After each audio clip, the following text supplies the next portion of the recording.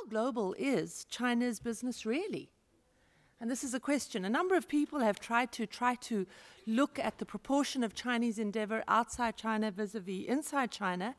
And our very first speaker this morning is Li Lu Huang, the editor-in-chief of the China Entrepreneurs magazine, who have developed an, um, a sort of a globalization index for, for Chinese business. Li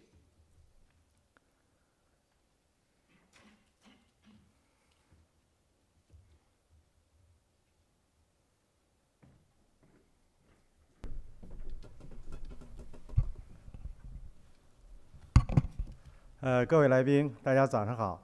呃，首先非常感谢 ICTSD 的邀请。呃，中国企业家杂志呢，呃，长期关注呃中国企业走出去和可持续发展这个话题。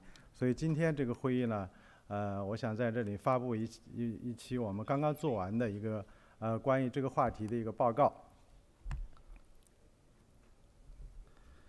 呃，我们可以看到。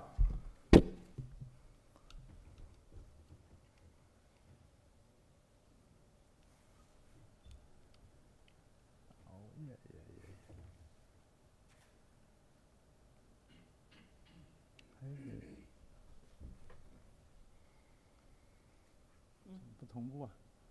这这这个能够同步吗？嗯。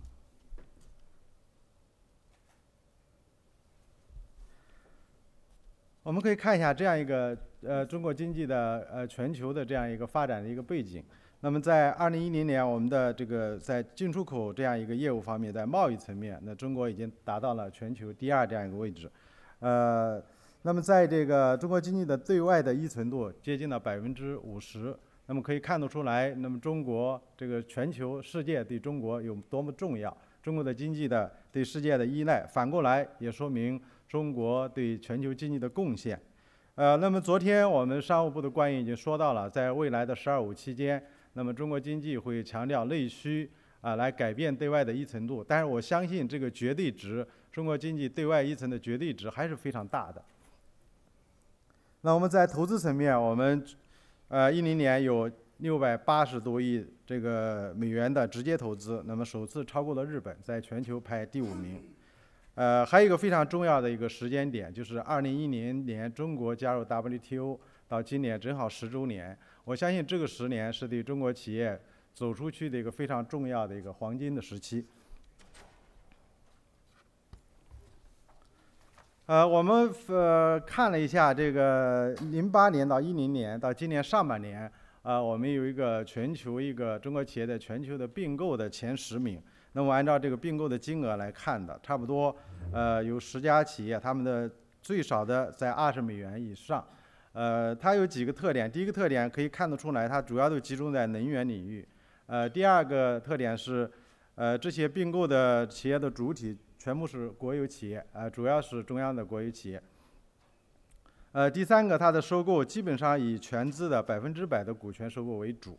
呃，第四点呢，可以看得出来，在零八年金融危机呃之后，呃，这种并购活动其实它的影响对中国企业的影响并不是那么大的。啊，呃，可以看到是零八年有三期，零九年可能稍微有点拐点，有两两起，那么到一零年。到四期，那么今年呢是跟上半年可能会少一些。呃，再下一张图其实也非常有意思。昨天我们商务部的官员说，我们六百八十多亿美元的直接投资，其实百分之七十在亚洲。但是如果看我们看这个并购市场，其实呢，呃，最高的是是在欧洲，啊，然后亚洲是百分之二十五，亚洲也主要以日本为主。那么然后是是美北美地区。然后包括这个澳洲这一片，其实呢，这里发现其实中国企业在并购层面，他们选择的还是一些高端的市场，因为那里面有成熟的市场，有非常好的技术，也有非常好的品牌，有很好的管理。那么在价值链上，它是处于一个上游的。所以这些呃，从直接投资的并购领域看，那么中国企业更看重这些成熟的市场。那么在这个背景之下，我们可以看一下，我们做了一个中国企业国际化的榜单呢，主要是来关注和梳理中国企业走出去的一个整体的一个呃实面貌，它的总体的实力和运营的现状。那么更好的为了来更好的总结经验，来为未来的发展贡献一些智慧。呃，我们这个评价评价体系呢，呃，我们是分了三大块儿。第一块呢是呃国际化的导向，第二块呢是国际化的运营，第三块呢是国际化的绩效。呃，这三块呢，我们呃又有一共十项小的指标，差不多全所有都有百分之十的权重。呃，在这里面呢，我们其实考虑的从媒体的角度来考虑呢，啊，我们是把这种呃评价的硬指标，就是数据指标，有一些管理啊、一些理念方面的软指标结合起来了。第二点呢，我们是要想在这个榜单里体现这个国有企业和民营企业的一个平衡，因为现在的。呃，官方的统计而言呢，大部分还是以国有企业为主的。呃，但是我们可以看到，中国企业的国际化，其实民营企业是非常重要的一个组成部分，而且他们体现了非常多的这种非常重要的多样性。所以我们特别想看重在民营企业的一些表现。呃，第三点呢，我们通过这些指标的设定呢，我们也想在聚焦大企业走出去的同时，呃，能够关注这个一些中小企业他们在海外的一些发展。啊，那么我们这个榜单呢，我们有一百位的专家评委，呃，像昨天的北京大学的这个武长期教授，他也是我们这个呃首席评委之一，啊，包括这个我们参加此次会议的联合国贸发会议的这个梁国勇先生，也为我们的这个榜单做出了非常提出了非常多的意好的意见。呃，这是我们的这个前五十强呃的一个榜单，呃，这里面呢，我们看一个基本的数据，就是它涉及到差不多十六个行业，呃，然后呢，可以看到有在能源和矿产这个资源层面的企业有七家，这些都是央企，也是这个榜单里数量最多的。我们还可以看到这个呃 IT 的企业，虽然它数量只有四家，但是它基本上都集中在这个前十六位，就是它的。它的这种国际化的程度，这个行业的程度是非常高的。呃，我们看一下它的区域分布，呃，这个非常有意思，呃呃，全部百分之九十二是集中在中国的沿海沿海地区，也是这个中国经济最发达的地区。呃，其中呢，这个北京是最多的，呃，占到百分之四十，这主要是央企的总部所在地。呃，然后市场比较发达的，像广东。像浙江、山东、呃上海、江苏，呃是比较高的。那么内地城市可以看到，内地的省份可以看到，呃湖南是最多的，然后有安徽，也有四川，呃其他基本上都是在沿海的一个分布。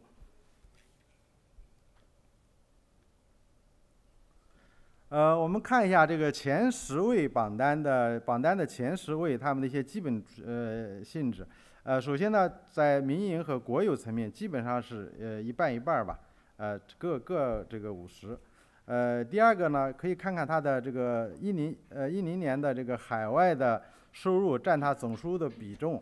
呃，我们可以看到，呃十家企业里面有八家企业，它的海外收入都占比占到了百分之四十以上。那么在海外资产的占比里面呢，那么在六家提供数据的企业里面呢。有四家的占比，呃，是在百分之三十五以上。那么通过这个前十名，我们看出，呃，中国企业的国际化的这样一个步伐还是非常之快的。呃，少数的呃这样的企业，他们国际化的程度已经非常高了。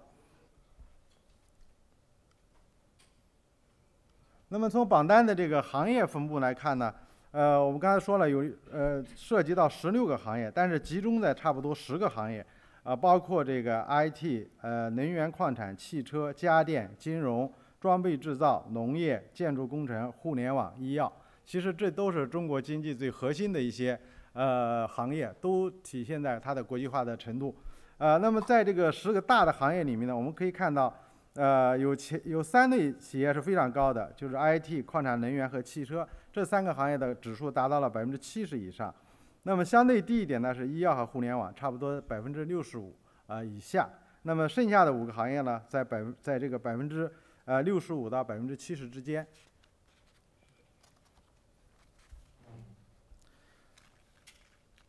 那么从这个央企和民企的这个他们的分布来看呢，行业的分布我们可以看出也也非常有特点。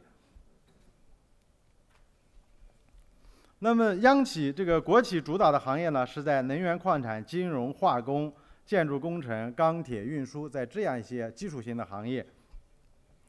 呃，那么在民营企业呢，主要集中在这个 IT、互联网、家电、呃汽车、食品饮料、建材、新能源。呃，这两个民企和国企共同拥有的呢，只有两个行业，一个是这个农业，一个是这个装备制造业。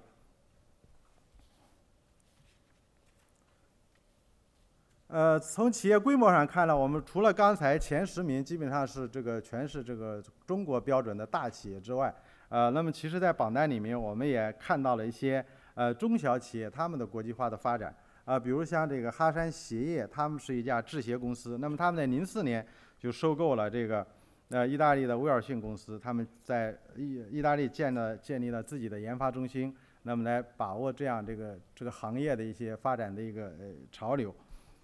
呃，完美时空呢是一家这个做网络游戏的，这比较现代的互联网的公司。呃，它的百分之八十的产品是在海外销售的，呃，那么它的出口总额占到了国这个国内这个行业的百分之四十。那么好孩子是一家做婴幼儿产品的，呃，它在这个海外的在。在美洲的占有率是百分之四十，在欧洲呢，差不多百分之十三。呃，天士力呢是一家医药公司，那么他们在这个呃东南亚和非洲市场，这个实现了这样非常高的一个增长。那么，其实，在榜单之外呢，我们这个还有一些非常好的一些。呃，在国际化发展的一些中小企业，像零九年我们浙江的一家企业捷克缝纫机工业缝纫机的公司，它收购了德国的两家企业。那么它最近还在欧洲在呃和一些这这个行这个产业链上的一些公司在谈做一些并购。那么二零一零年呢，像这个呃上海的一家这个小家电的品牌公司，这个奔腾电器。他收购了日本的这个高尔夫的品牌轰马的品牌，也是可能最一个高端品牌。但是但是非常有意思的是，这家公司呢，呃，在今年他他决定把这个小家电的一部分会这个卖给这个呃卖给这个飞利浦公司。那么二十五亿人民币的一个并购，呃，这个案子呢已经在商务部在审批，应该很快会完成。所以他这个公司呢，就他会把国际化的。把自己的产业转型通过国际资源的配置来实行，那他要做更好的、更愿意做的事儿，把一些相对低端的产业可能出售。呃，美克美家是一家来自新疆的这个呃家具制造商，在国内是一个非常有名的品牌。那么他在美国的市场做得非常好，长期在美国销售产品。那么在一一一年呢，他也收购了呃美国的一家这个家具公司。呃，像今年三月份，还有呃温州的企业在洽谈这个收购这个法国的这个皮尔卡丹品牌。呃，那么刚刚这个前前前几天，我们其实大家知道一件事儿，就是我们内地的家做这个呃地产和这个旅游业的呃中坤集团，它在冰岛呃洽购这个差不多三百平方公里的一个牧场，那么占到了冰岛这个国土面积的百分之零点三。呃，刚刚昨天，昨天那个好像美国的媒体在报道，呃，黄路布先生这这家公司董事长，他也准备可能在北欧、在丹麦啊、在挪威啊，还要做类似的并购。他，呃，这家公司呢，也是我们非常熟悉的一家公司。其实他的想法是说，呃，随着中国的这种国民收入的增长，整个呃中国的旅游业会有非常大的发展。他希望在全球来整合旅游业的资源，呃，这样可能为。呃，把中国作为他的一个消费者的一个一个最重要的来源地。那么，在这个榜单的这个制作过程中，我们收集大量的来自于这些企业家、这些企业的这个管理者们的他们的一些信息。呃，我们看到这个中国企业国际化的战略目标，就是我们中国企业它走出去的它的最最初的一些想法，基本的想法是什么呢？我们列了十一项，可以看到。前三项是，呃，开拓海外市场，建立国际品牌，获取国际管理的人才和经验。呃，可以看到第四和第三之间差了差不多，呃，二十个这样一个呃 percent。所以这个可以体现出，可以看得出来呢，中国的企业家们对于海外市场的渴望，他们把这个把这种市场的开拓，把这种规模，可能把一些这个核心的管理作为他们最需求的一些点。那么当然后面的这些点其实也非常重要，但是在他们的这个当下的这个选择里面，可能前三者更为重要。那么在对于这个海外的收购之后要解决的首要问题里面，也可以看得出来中国企业家的一些特点，比如它前四个占百分之四十以上的，呃，要保持这个原来的管理层的稳定，要稳定原来的生产和市场，那么要贯彻这个好贯彻原来的这样一个一些管理理念和体系，呃，要建立海外企业的内部的沟通和互信。其实这这四点呢，我觉得非体现了中国企业家们非常务实的一个精神。他们希望这些并购企业能够非常平稳的过渡。那么此其接下来才是呃，在这个整个市场稳定之后，企业稳定之后，才考虑到组织架构的调整，这种信息系统和技术平台的整合，啊，包括这呃一些新的这样一些变化。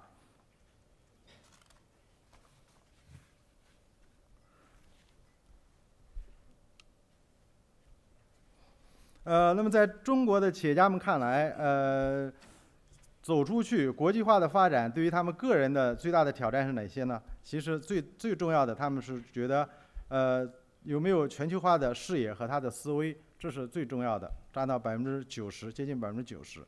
那么第二点也特别重要的是这个跨文化的管理和沟通能力。其实昨天大家也谈的非常多。那么，呃，明确呃第三点呢是。和第四点差不多的，就是跨国资源的整合能力，还有就是说，呃，作为一家去收购的企业，它的整体的战略目标是什么？这些跨国资源是不是跟你的企业未来的发展是匹配的？那么当然也有对这个全球经济和市场的洞察力。呃，但是呢，很有意思的是呢，我们列了三项这个很重要的呃一些话题，那么他们没有选择。第一项呢是优秀的语言能力。第二项是国际化的教育背景，这是对企业家来说。那么第三点呢是这个数据和信息的分析和决策能力。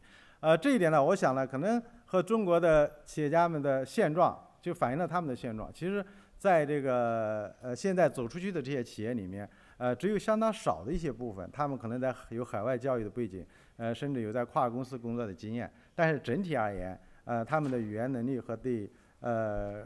外部世界的了解的能力，个人从个人的角度还是相对有限的，他们可能要依靠一个比较大的一个团队来操作，所以在这一点上呢，也反映出了呃中国企业家在这些方面的，我觉得是一个缺陷。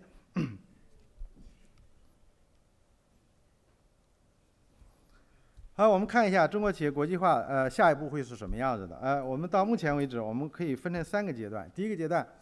在呃加入 WTO 之前，那么它是一个产品的国际化的一个年代。那么当然今天还会这个这个还在持续，但已经不是一个主要的特点了。啊，那么从加入 WTO 到呃零八年的金融危机这个阶段，我们叫这个投资的国际化，因为有有 WTO 的这样一个支持，那么中国企业呃这个这十年也是这个直接投资增长最快的一个时期。那么这是一个主要特点。但是我们我们觉得从零八年之后。呃，到未来这个阶段，第三个阶段，呃，我们说是这个经营的全球化，主要是一个价值链的一个优化的这样一个全球化的过程。那么我们称之为这个呃国际化的一个二点零的版本。那么我们可以看一下，在这个呃一点零的时代，我们其实国际化有比较多的一些呃教训呃和一些经验。呃，那么我们看一下，呃，第一个案例是 TCL 收购欧洲的汤姆逊和阿阿尔卡特，呃，呃，这家公司呢是是非常有意思的，八一年成立的，呃，它是总部是在呃广东呃深圳的东边一点有个城市叫惠州。呃，他的领导人呢，李东生先生呢是呃八二年大学毕业，加盟这个公司的。后来他成为这个公司的领导者，把一家当时叫做集体企业改造成了一个完全的市场化的民营企业。呃，他到二十年的时候，到两千年左右的时候，他已经在呃电视，在所谓的黑色彩黑电和白电，包括呃包括这个手机，包括电脑，包括电工。这样的领域都在国内做得非常之好，呃，我记得二零零二年的时候，我对这个公司有一个非常长长篇的一个报道，我跟李东兴先生聊得非常多，呃，当时就他非常强烈的愿望，他觉得在中国的市场已经竞争非常竞争是非常这个激烈了，已经非常饱和了，而且那个时候他已经呃产品的出口为海外的品牌的代工做的也非常之大，他觉得附加值是非常低的，他希望说能够走出去，能够寻求一些好的并购，能够把这个 TCL 在这个进入一个新的一个国际化的这样一个历程，呃。在零四年之后，他就进行了两次并购。我相我我相信这个并购在国内有非常多的讨论。呃，整体看了，我们今天的判断说，呃，这个案例是基本上是一个失败的案例。呃，失败案例呢，主要的原因，我觉得呢，呃，以我的理解，我觉得第一个呢，他的准备就是他在这个整个国际化的准备方面是比较匆忙的。呃，他差不多是零二年有这个想法，那么零四年就开始行动了。其实两年的时间对于一个中国企业来说，还是还是太匆忙了。呃，第二点呢，它在这个整个的国际人才的储备上，呃是比较欠缺的。因为呃，在 TCL 在在二两千年的时候呢，它的呃有一个强大的职业经理人的团队，它每个业务板块都有非常能干的一个一个领导者在在做业务。啊，但是这些人呢，我我们也非常熟悉，他们基本上还是还是本土化的思维比较呃导向比较严重的，呃。等他来收购这两家欧洲的这个品牌公司的时候，他基本上用的还是这个团团队，所以他这个感觉到非常吃力。呃，第三点呢，其实就是非常重要的一点，就是对欧洲的这样一些呃整个的这个劳工的环境和用工的成本的这这种了解。呃，特别重要的最后一点还是跨文化管理出的问题。这个李东生先生曾经说了一个非常有意思的事儿，呃，他说收购。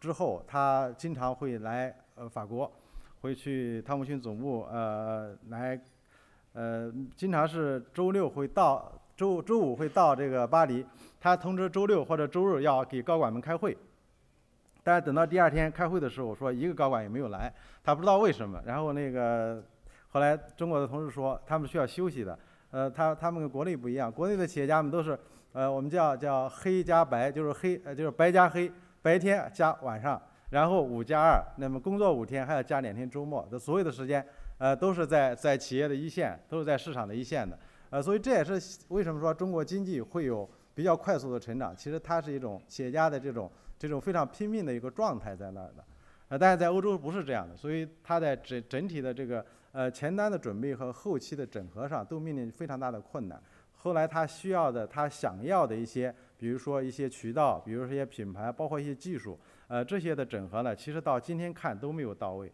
呃，他们也付出了沉重的代价，因为这个收购之后，他们陷入了整个公司陷入了多年的亏损，呃，他会把他的非常好的一些业务，为了这个公司的发展，把像 TCL 电工啊非常盈利的部门都出售掉了，来弥补这个亏空，呃，那么今天呢，今年是呃他们的三十周年，刚刚呢，我我们的杂志有一份手机报，我看。刚刚李东石先生昨天发了一一条一条这个我们手机报写了一几句话，我可以可以给大家这个读一遍。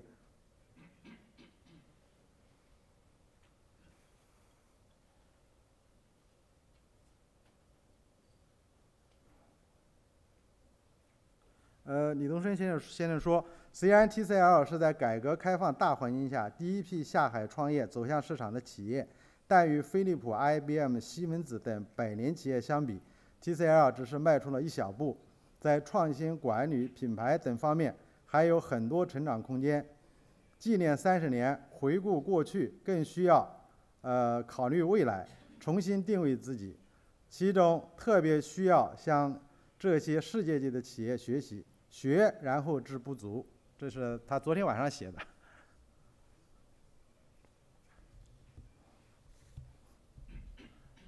那么第二个案例呢，是联想收购这个 IBM 的 PC 的板块。那么这个案例呢，我们现在把它定位为经历了这个磨难之后，呃，取得了初步的成功。呃，联想呢是零呃二一九八四年这个创立的一家高科技公司。呃，他们走的是一条叫呃呃贸工技，就是通过贸易，然后再做产品，然后再向技术层面的延伸这样一条道路。呃，那么到这个零。呃，二二十二两千年左右的时候呢，其实联呃联想电脑在国内市场已经取得了第一名，他们超过了呃惠普、戴尔等这些国际品牌，超的比重很高。这个时候他们就希望说，呃，我们有没有可能在国际市场上有自己的一席之地？那么这个时候正好赶上这个 IBM，因为它要走这个软软化的道路，它要把它的硬件部分出售，所以是一个好的契机。呃，应该说呢，联想收购比 TCL 有更多的准备，他们请了比较多的国际顾问公司，做了非常多的模型，在收购之前做了很好的准备。呃，但是即便这样呢，他们这个收购之后还是面临了非常多的麻烦。呃，首先呢，第一个麻烦就是说，呃，这个收购之后呢，这个它的高端市场，呃，受到了很大的损失。像森派森派克的这个森克派的这个品牌，在在美国、在欧洲的高端市场，其实受到很大的损失。呃，它没并没有达到原来那种预期。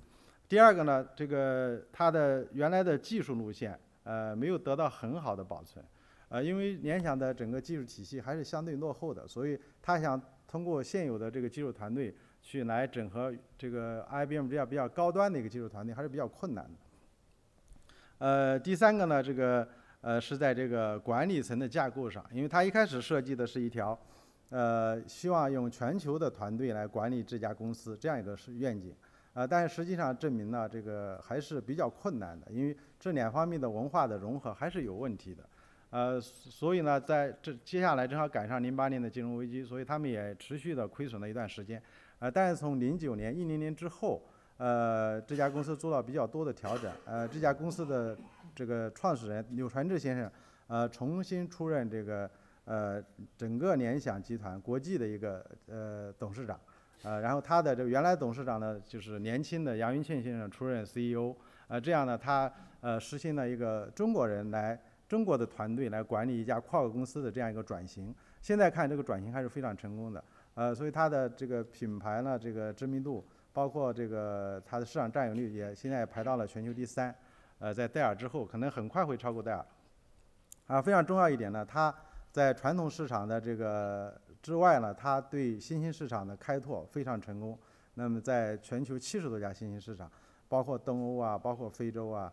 呃，做的都非常，包括南美做的都非常好，呃，所以这家的公司呢，这个还是这样并购还是非常成功的，因为当时他们收购之前可能也就是呃两百两两百亿左右的收入，那么到去年他们已经有一千三百多亿人民币的收入了，呃，这样如果没有并购是不可能的，呃，当然这家公司面临的新的问题是说，在一个呃这样 PC 互联网时代已经快将即将结束的时候，进入到这个移动互联网时代。他们能不能有更好的技术和产品来服务这个市场？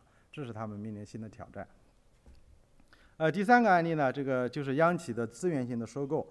呃，这里面主要的风险呢，其实是两点。第一个是在在政策方面的风险。呃，大家都知道，这个前些年这个中海油收购美国的优利克公司，呃，中铝收购这个澳大利亚的呃利特公司，呃，这两个案子都没有成功。那么这里面很大的原因呢，是因为这个呃。被收购的企业的这个政府，或者说竞争者，或者说媒体，他们觉得央企是代表了政府目的和意愿的，非常强烈的，所以这是非常大的阻力，都没有成功。呃，第二个呃风险呢是，呃，国有企业呢，他们在运营的机制上，他们对风险的控制，呃，相对还是比较的疏忽的，所以这些这最近一两年可以看得出来，呃，像三家石油公司，包括一些重大的一些重要的建筑。承包商他们在海外市场的业务虽然规模做的都很大，但是他们都出现这样那样的问题，很多项目都在亏损状态。这个实际上就是说，呃，进入到这个国际市场之后，他们的整合能力，他们呃能不能有很好的这个盈利，这是一个一个问题。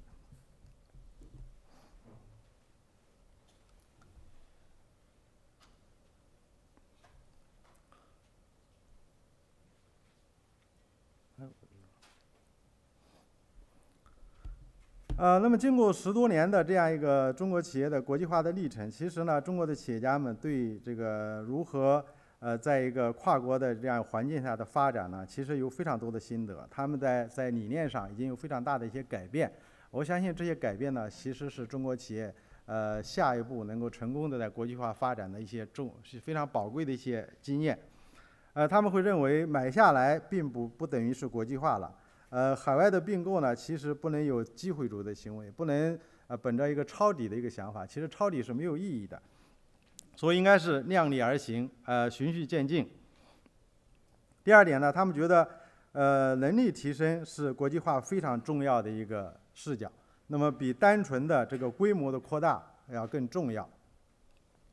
呃，第三点呢，呃，这种大局的并购，呃，不一定是最好的选择，可能和这个国际的同行的这种合作发展，可能是助动协同效应，为未来的市场的生根打下基础，可能更有价值。第四点呢，他们觉得这个国际资源一定要和这个中国市场这个这两两方面能够结合起来，经在价值链层面进行更多的整合。呃，在这个还有非常重要的一点，就是说中国这样一些经济发展的这种强劲的动力，能不能和这个全球的资资源做好做到比较好的一个对接，这可能是非常重要的。那么在国际化标准上面呢，他们的这个想法也从过去的规模啊、这个市场啊、利润啊，从这些方面已经有很大的变化。他们觉得责任是第一重要的，呃，创新也是非常重要的。那么可以看得出来呢，呃，经过十多年的这样一个磨练或者是磨难，中国企业在国际化的这样一个呃这个旅途中当中呢，已经积累了非常好的一些能量。所以我们相信呢。这个在接下来的这样一个国际化的发展当中，中国企业会做得更好。好，谢谢大家。Thank you, Lulu. Thank you. Um, Ken, would you like to make a few rather brief comments on that, please? Yes. Uh, Mr. Wang, thank you very much for very detailed profound and useful study. You've raised many interesting points. Um, I'm not going to deal with all of them, you'll be glad to hear, uh, because there isn't time. So we, we could, we'll have to do that afterwards in discussion. Um, just one or two uh, very tiny points. I think in the translation, uh, the word merge and merger uh, very often should be acquisition. If you if you buy 100% of the equity of another company, uh, that's usually not always, but it usually means ac- acquisition in English, and that, that's just a small point. Um, a lot of interesting points have emerged from from this analysis. For example, uh, comparing the uh, distribution of China's overseas direct investment uh, with the uh, slide on the overseas acquisition status of Chinese enterprises, 2008 and 2011. I think your slide actually gives us a better picture of what's going on. Because, uh, as we heard yesterday, if you look at the raw data, by far the, the uh, largest proportion of China's overseas investment goes to Asia. Um, whereas from your slide, we see that actually Europe gets the largest amount, nearly 27%. Asia gets 26%. North America 24%. If we're looking at the M&As, and that's very interesting because a lot of the money that goes out of China goes to Hong Kong. That counts as uh, FDI to Asia, but actually it may not stay in Asia. A lot of it may go to other continents. Quite a lot of it actually may go back into China as uh, round tripping investment. So that, that sort of thing is extremely interesting.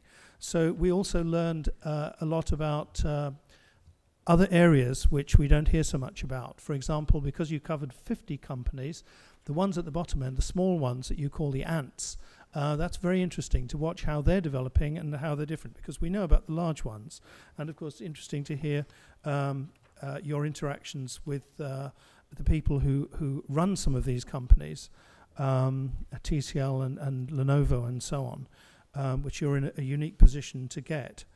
Um, but out of this, I suppose my, my main, main question is how does China compare in terms of internationalization with other investors? Well, with, let's say, other investors from small developed countries, obviously you would expect that they would have most of their assets and their activity abroad.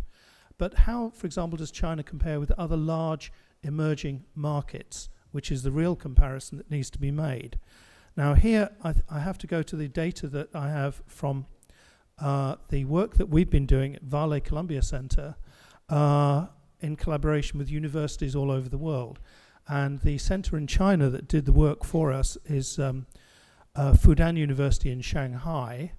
Uh, and they produce rather different results. Now, the results may be different because we're looking not necessarily at the same year, but they're so different that I think I, I really ought just to quickly uh, summarize them. Um, for example, for, for China, um, we have the companies in a totally different order, and some of the companies are not even on the list. We only look at the top 18, um, but we have something called the Transnationality Index, and it's a little bit broader than just looking at uh, revenues. In fact, it's an average of three ratios. That's foreign assets to total assets, um, foreign sales to total sales, and foreign employment to total employment of the company. And for example, yesterday we heard that many Chinese, many huge Chinese companies are in the top uh, 500 in the world, the global uh, Fortune 500, but that most of their activity is actually in China. So they may be international companies because they operate all over the world, but China is such a huge market. Uh, for example, uh, you know, China Mobile and the oil majors. Uh, they have huge activity in China. So even if they're doing a lot in other countries, the majority of their activity is still in China. And so our transnationality index, what's the difference between ours and yours? Uh, we have for uh, the average of the top 18 companies, and these are the ones that have the, the most, by far the most foreign assets in China, uh, we have a, an average of 14.8%. It's less than 15% internationalization. Um, now, I know you didn't have an average overall, but if we just take one company, let's say Sinochem, um, your figure for that is well over 70% um, for your index and for your assets. Ours is 37%. Uh, and that is uh, that's across the board for the assets, for the sales, and for the employment. So you have Sinochem being twice as international as we do. Now it's a different year, so it could be a change. It could be that there's been a huge change in that Sinochem it's doubled over two years, but I'm I'm not too sure if that's the case. Um, now, if we compare that with other countries, is China actually are Chinese companies more or less internationalized than those in similar countries? Um, if we take Argentina, the largest firm in Argentina, which by the way is a huge proportion of the total, um, has a transnationality index of 74%. So that's rather higher than China's less than 15. Brazil, their average or overall is 20.8%. India is much lower. Uh, the top firm, uh, which is actually the Oil and Natural Gas Corporation, uh, their their, their internationalization ratio is 14%. But Mexico, which has been in this game for some time also, and is comparable to China in many ways, although we don't always see them compared. Uh, they have an average of 41%. And the, the, by far the largest is Cemex, and they have internationalization index of 79%, and uh, and so on and so forth. And you know, half the companies uh, there have got uh, an index of over 40%. So China at the moment is uh, much has companies which are much less internationalized than those of a lot of others. I'll stop there. I have a lot of other comparisons, but we don't have time for them. But uh, thank you for a very interesting report. Thank you very much, Ken, for your comments, and thank you, Lulu, for a really thoughtful and uh, interesting analysis. And I guess what this is all telling us, you know, Lulu's um, deep analysis and Ken's comments and different perspectives, is that this is a moving target. The world is changing, it's changing fast, and it's affected by so many different parameters. And I guess, in one sense, the existence of a very large domestic market, if we're talking about India, for example, or China, is at once a brake and a spur to internationalization. And the dynamics work differently. I think we were particularly interested also, Lilu, to hear the in depth analysis of the, uh, the three companies because that really is a unique insight. Um, we probably only have time for a question or two if anybody has, but I do certainly hope that this very valuable analysis will continue and that next year we'll be able to hear more of the same, or sort of more of not the same, more of what will have changed by then, because that's the value then. I hope to all of you of a meeting like this is that we can bring this kind of information to the table thanks to Lilu and others, and, and discuss it. Do we have any questions? We only have a minute or two, but we'd, we'd be happy to take one. Yes.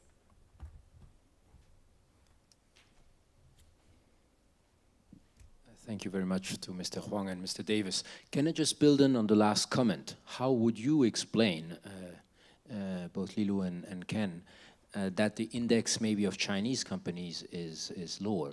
Is it just because of what, uh, what uh, the chairwoman just said, uh, the, the domestic market is larger? Or has it something to do with the key factors that Lilu pointed out about uh, internationalization of boards, of management? How do you explain the fact that Chinese companies, for the moment, rank uh, lower than their counterparts? Lilu?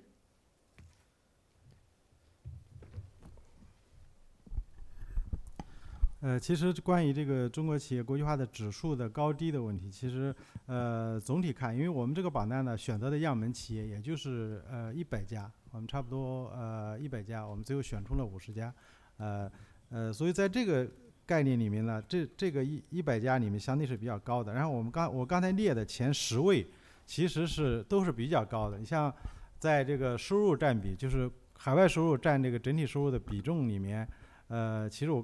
提到了有八家，十家里面有八家是在百分之四十以上，最高的是中化集团，是达到了百分之七十六点四，那么最低的呢，当然是呃是二十四，中石化的，中石化是收入是二十四，呃，但是在资产里面呢，资产里面我们数据没有，有的公司没有提供这个详细的数据数据，啊，那么呃六家有提供，十家里面有六家提供了，提提供的是呃最高的也还是中化集团百分之七十。然后，像刚才那个中石化呢，它是百分之三十五点三十五，呃，其他两家，其他两其他的是百分之四十八的，有百分之六十七的，当然有两家比较低的是中信集团是百分之十四，然后中海油呃中石油是百分之二十，是这样一个情况。所以呃，我我们可以看得出来，其实综合看，那在中国经济的整个的这样一个。呃，在企业的数量里面看，那平均而言，国际化程度相对是比较低的。但是在前这个一百位、前五十位或者说前十位的这些跨国这个中国企业的国际化企业里面，那它还是比较高的。Thank you, Ken. A thirty-second comment, and then we'll close the session. Uh, yes, I, I, agree with that. Uh, we we also uh, the, the Fudan University study had the same problem uh, that our material comes from the companies and you, you know you have to wait for them uh, to send it, and it's not always a high priority. So, you know, uh, congratulations to you for getting so much data. Congratulations to our Fudan partners for doing it. It's very much a question of chasing people because, as I say, it's, it's not top priority these companies. And it's true that the top 10 companies have much higher uh, globalization index. Um, and um, yeah, for example, uh, Beijing Enterprises we have as uh, 77% uh, index. That's what, again very high one. Um, but the the top 18 we found only 15%. Uh, the, the reason that uh, you mentioned and that, that also well we've all mentioned uh, that that China, China has huge companies. Um, because it's got 1.3 billion people. So if you're serving that market, um, actually serving a few people in countries that are much smaller, um, may not be such a, a, high proportion of the total. The other thing is the Go Global policy has only been around since the turn of the century, uh, whereas we're comparing with many countries that have been doing foreign investment for much longer. India's got a their company's got much lower globalization index than China, um, and they've got companies like Tata which have been around for over a century. It's longer than most uh, uh, industrialized country companies. So that, that that's largely it. It's it's a question of uh, time. And I think if we come back to this in 10 years' time, we'll find the index has increased uh, massively. Thank you both very much. Thank you.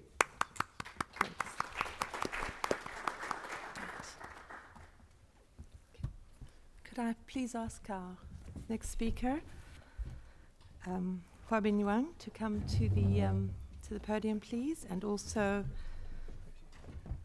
Xiaobing Wang, so that we can.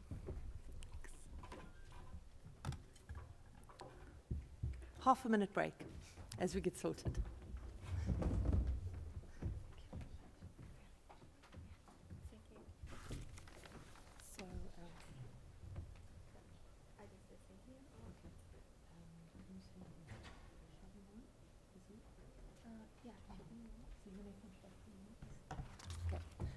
Where would you like to sit down here, please? Thank you. Okay. Thank you. Ah. Xiaobing will now introduce our speaker.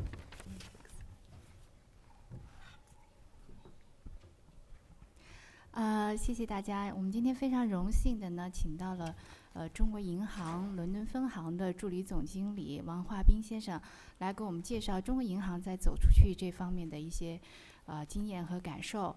那我也是这个呃，在之前做功课才知道，原来中国银行呢是中国可能是最早的一批走出去的企业之一。就一九二九年，中国银行就已经在海外开展业务。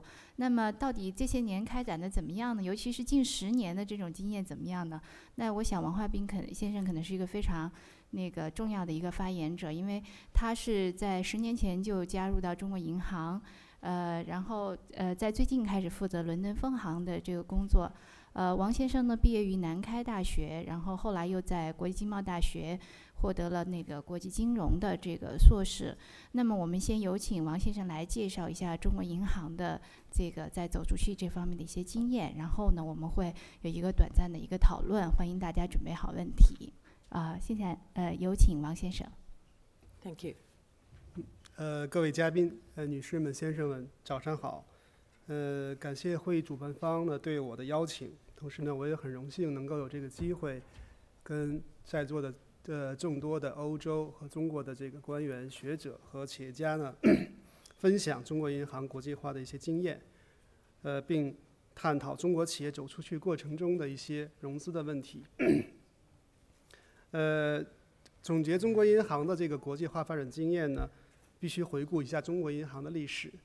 那么我很很荣幸的告诉大家呢，到明年的二月五号呢，呃，到二零一二年的二月五日呢，中国银行呢就会迎来自己一百岁的生日。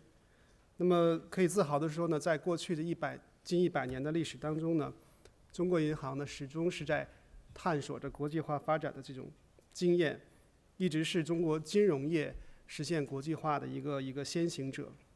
那我们中国银行的历史呢，也是中国银中国整个金融业国际化历史的一个缩影。那么，中国银行的百年历史呢，其实是见证了中国金融业呢从解放前第一步第一次迈出国门，一直到呃依托中国对经济贸易的发展呢，逐步实现国际化布局。那么到最近十年呢，伴随着中国企业走出去以及中国金融市场的一个大幅度的开放呢，进一步实现国际化的一个这么一个整个的历史。那么刚才主持人介绍了，一九二九年的时候呢，也也就是距今八十二年之前，当也是呢，当时呢，大家都知道，一九二九年全球性的金融危机发生的那一年，那么中国银行呢，代表中国银行业第一次走出呃走出国门，在伦敦呢设立了一家分行，那么成为中国银行业呢整个整个中国现代金融企业探索国际化经营的这个一个破冰之旅吧。虽然从二九年一直到一九七八年这个过程中呢，我们在海外的这个呃经营始终没有中断过，但是呢，我们在这个阶段呢也非常弱小，非常的稚嫩。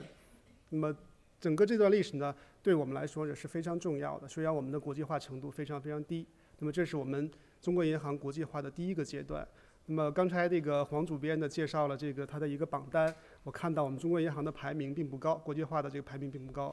我想如果把这个历史的这个年头呢，走出去的年头加进来的话，可能我们就排到第一位了。这也是一个很有意思的一个一个，就是我们可能走出去时间很长，但是我们的国际化呢一直在摸索过程中。那么中国银行国际化的发展呢，第二个阶段呢，应该是从改革中国的改革开放开始。那么大家都知道。呃，中国的这个改革开放，一九七八年开始之后呢，中国对外经济贸易的发展呢，应该说是持续了大概三十年的一个高速增长的这么一个过程。那么对中国这个中国对外经济贸易的发展呢，对于中国银行业的这种国际化的服务能力呢，也提出了一个更高的要求。那么应和这种要求呢，同时呢，我们中国银行作为中国曾经有很多很长一段时间的这个中国的专业的外贸外汇银行呢，这样的一个得天独厚的优势呢，我们通过服务中国对外经济贸易的发展呢，实现了自身呃国际化经营的一个大的一个一个一个飞跃。那么在这一阶段呢，中国银行呢在呃重点是在国际网络布局和国际银行业务方面呢取得了比较大的突破，那么实现了国际化经营的一个上了一个比较比较比较高的台阶。呃，到两千零一年末呢，中国银行在呃，港澳台及全球二十九个国家和地区呢，已经拥有了五百家以上的海外的分支机构。那么，与全球超过一千两百家的这个银行呢，建立了这种代理行的关系。那么，我们的海外资产呢，刚才黄博呃黄黄主编也介绍了，可能海外资产，我们海外资产呢，中国银行海外资产在中国所有的银行业里边呢，是占比最高的，达到百分之二十。那么我们海外的利润的贡献呢，应该也是接近百分之二十。同时呢，我们的海外员工的数量呢，也达到了百分之十这样的一个比例。那么我是来自于中国银行伦敦分行，那么伦敦分行呢，海外员工的比例，就是当地员工的比例，呃，甚至高达百分之九十这么一个比例。那么这个，呃，可见我们在呃这些年的融入当地市场的这个幅度还是比较大。那么这里边呢，呃，举几个简单的这个数字，就我们国际银行业务的一些数字。那么到两千零一年的时候呢，中国的对外对外贸易的总额呢是接近三万亿。那么这个数字呢，大概是一九八零年的一个三十倍，呃，八十倍。那么同时呢，中国银行呢自身的作为刚才我介绍了，我们是一家长长期是一家专业的外贸外汇银行，所以我们的国际业务呢占比也很高。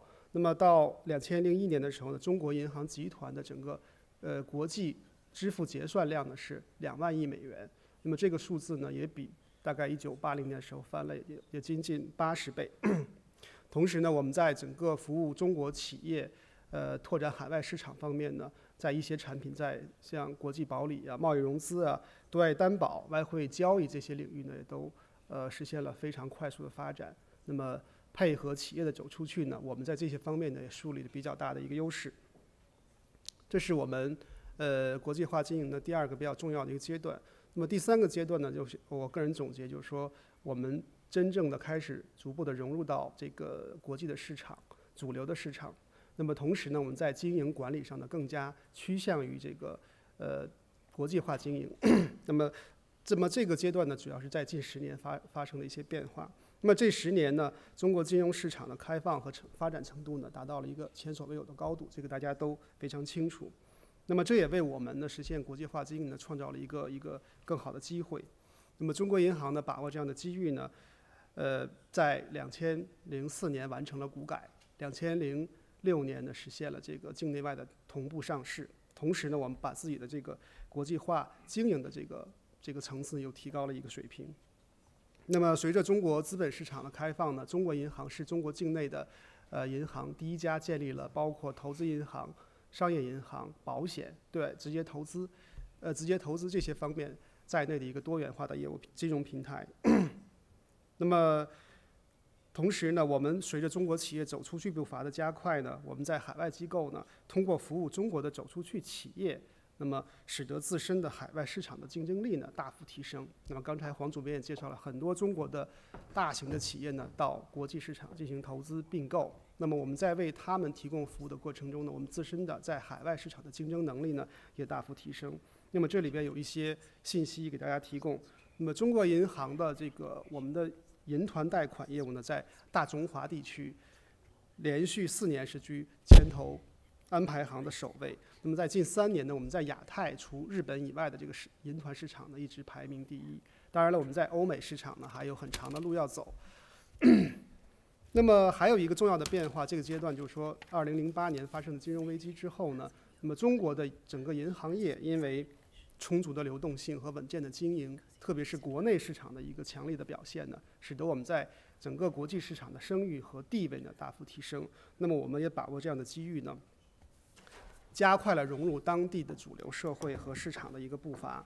那么，以我以我所在的中国银行伦敦分行，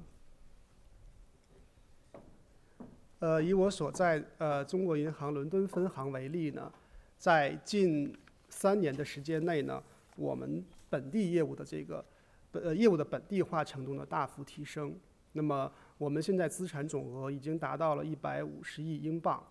那么在这中间呢？有百分之六十以上呢是英英国及欧非地区的业务，那么一方面我们服务中国的走出去企业，同时呢我们有大量的本地业务，同时呢我们的这个客户名单里边呢也有超过百分之六十是来自于欧非地区的这个企业，优质企业，那么这里边呢包括近三十家欧非地区的世界五百强企业。同时呢，也包括四十多家英国富时指数一百五十强的企业。那么我们跟这些客户呢，当地的客户呢，呃，建立了这个呃非常全面的客户关系，也使得我们在当地的经营的这个水平呢也大幅提升。那么这个变化呢是在前两个阶段所没有的。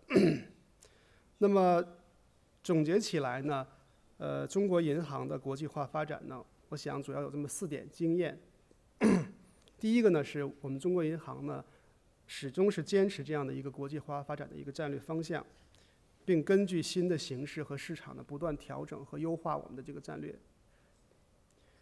呃，第二一点呢，就是我们我们的整个国际化发展呢，仅仅的是依托中国对外经济贸易的发展，来推进我们的国际化道路，并且把中国，并且充分把握了中国这个金融市场改革与开放的这么一个契机。还有就是我们非常始终坚持的一个宗旨，就是要服务中国企业的走出去的这样一个一个战略。那么第三点经验呢，就是，呃，我们要善于，我们要尊重国际市场的文化、法律，还有监管的规则，积极的融入主流的这个市场。那么这也是我们很重要的一个经验。那么最后一点呢，就是，呃，我们在整个国际化过程中呢，始终坚持发挥我们中国银行。自身的一个独特的一个优势，同呃同时呢，我们还坚持不断的进行产品和服务的创新。那么这一点呢，对我们来说尤为重要，特别是利用国际市场的先进的经验产品来推动我们的这个产品和服务的创新。那这也是非常重要的一点。那么展望未来呢，我个人认为呢，呃，中国银行将面临下一个。实现更高层次的这个国际化发展的一个重要的一个机遇期。为什么这么讲呢？主要是三点考虑。首先呢，刚才呃黄主编也介绍了，中国现在呢已经是世界上进出口贸易的第二大国，而且很多专家都预测呢，未来五到十年可能我们会成为进出口贸易的第一大国。那么同时呢，我们已经在二零一零年成为全球的第二大经济体。那么目前呢，中国的到中国进行直接投资的这个总额呢，已经是世界第二大。那么同时，中国对外投资，我们的 ODI 呢，我们也现在排名到世界第五。而且随着人民币国际化的这个加快呢，我们人我们中国企业中国的对外投资呢会进一步这个加快。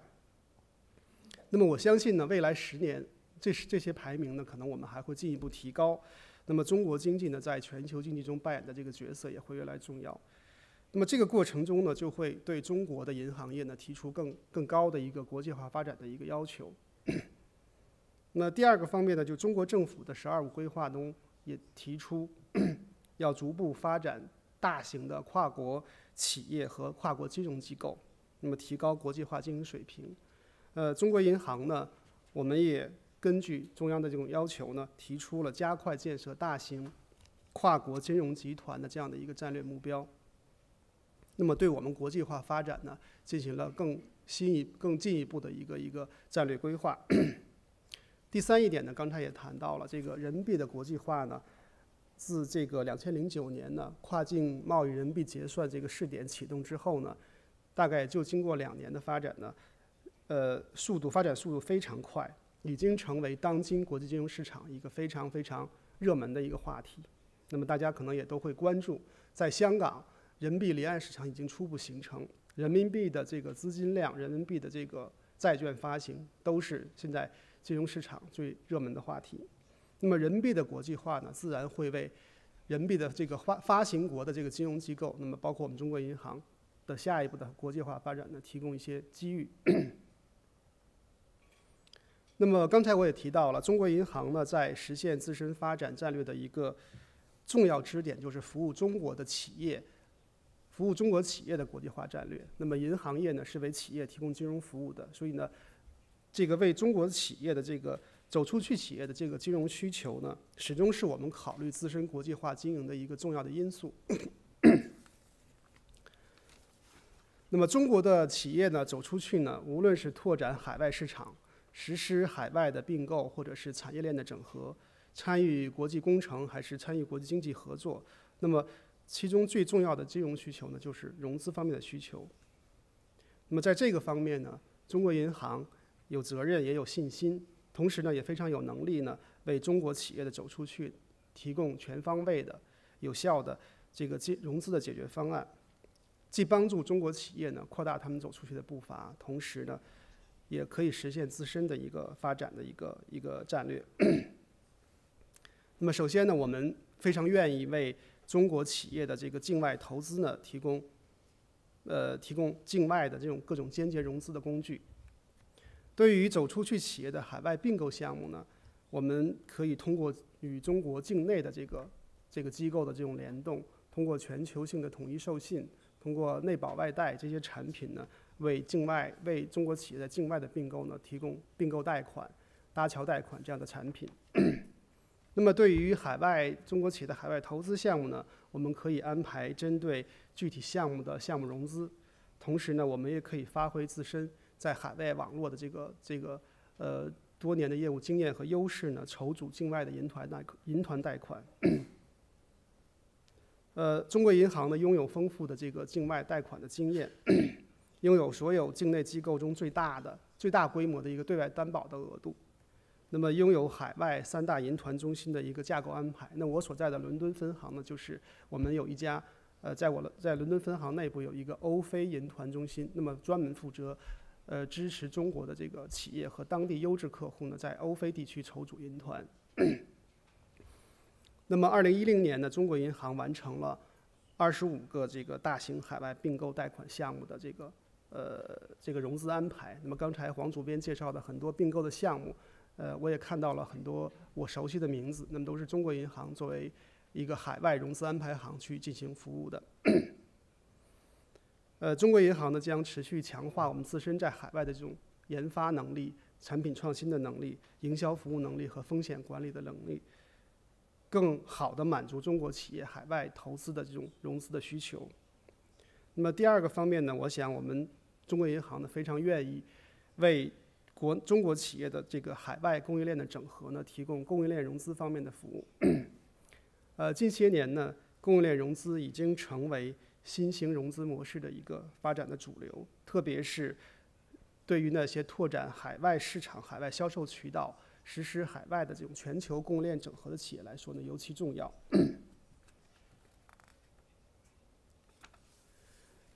呃，对于那些呢，中国呃在海在这个整个全球产业链中处于比较优势地位的中国企业呢，中国银行将配合他们的产业链战略整合的需求呢，以国内企业的这以中国银行集团在国内对这个企业的授信为依托，为这个企业及其上下游的这个这个企业呢提供全面的一个金融服务。那么近几年呢，我们中国银行通过不断的创新和发展，在呃供应链融资方面已经取得了很大的进步。我们愿意呢，呃跟每一家企业探讨他们供应链融资的需求，为他们量身定做呢。供应链融资的一个解决方案。呃，最后呢，就是最后一个方面，就是为这个中国企业走出去提供融资呢。我们想，一个重要的一点就是人民币国际化背景下的境外直接融资服务。那么近两年呢，在国际货币体系改革的这个大背景下呢，中国政府实施了相应的政策调整，支持和扩大人民币的境外使用。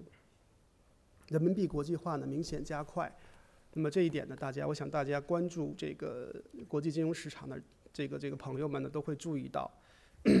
那么这些人民币的国际化呢，为中资企业走出去过程中呢，进行海外的直接融资呢，开辟了新的渠道。呃，自去年以来呢，香港的人民币，香港市场的人民币债券的市场呢，取得了突飞猛进的发展。嗯，大家可能也注意到，很多全球知名的企业，除了中国背景的企业、金融机构以外，包括可口可乐、皮特卡勒、大众，嗯，这些耳熟能详的这个大企业名字呢，已经开始在香港市场发行人民币的点心债券。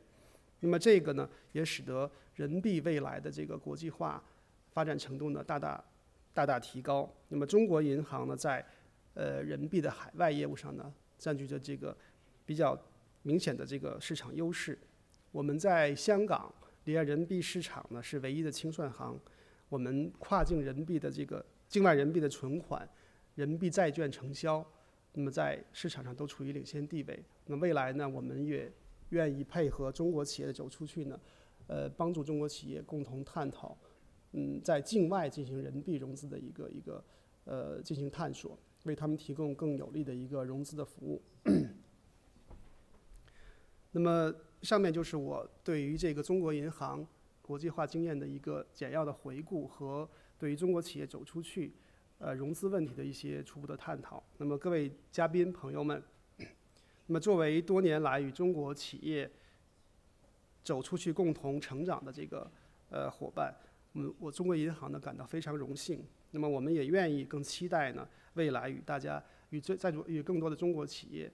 进行合作，把自身的国际化战略和中国企业的国际化战略呢结合起来，为中国乃至世界的这个经济发展呢做出更大的贡献。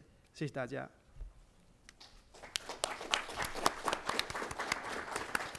Thank you, Huabin Wang, for that extensive exposition of how Bank of China has really thought about every dimension of the globalization and internationalization of business and what financing needs and opportunities there might be. It was quite interesting to me yesterday that um, in none of the analyses of the challenges and risks facing companies um, going global, Chinese companies, that none of them really uh, raised lack of access to capital financing as a significant issue. And now we see that um, the, the, the, thoughtful participation of uh, companies such as Bank of China is one of the driving forces that has, in fact, facilitated the globalization of Chinese industry. Xiaobing, did you want to say anything now, or shall we take some questions? Uh, 我 OK，呃，因为我我是来自财新传媒的，我其实也有一些 呃，很多问题非常好奇，非常想问王先生，但在这就不太占用这个时间，因为我想下面的听众跟我一样也有非常多的问题。呃，我先抛砖引玉，就先问那个王先生一个问题，就我想知道，就是像中国银行哈，那个那他所在海外，那你所定位的这种竞争对手到底是我们国内的其他的银行呢，还是说像花旗银行或者是？嗯，那个美美洲银行这样的这个国外的这种大的银行，但是下面我想可能还有很多听众也有一些其他的问题，那我们先把问题呃都抛给王先生，然后让王先生一一并来回答，谢谢。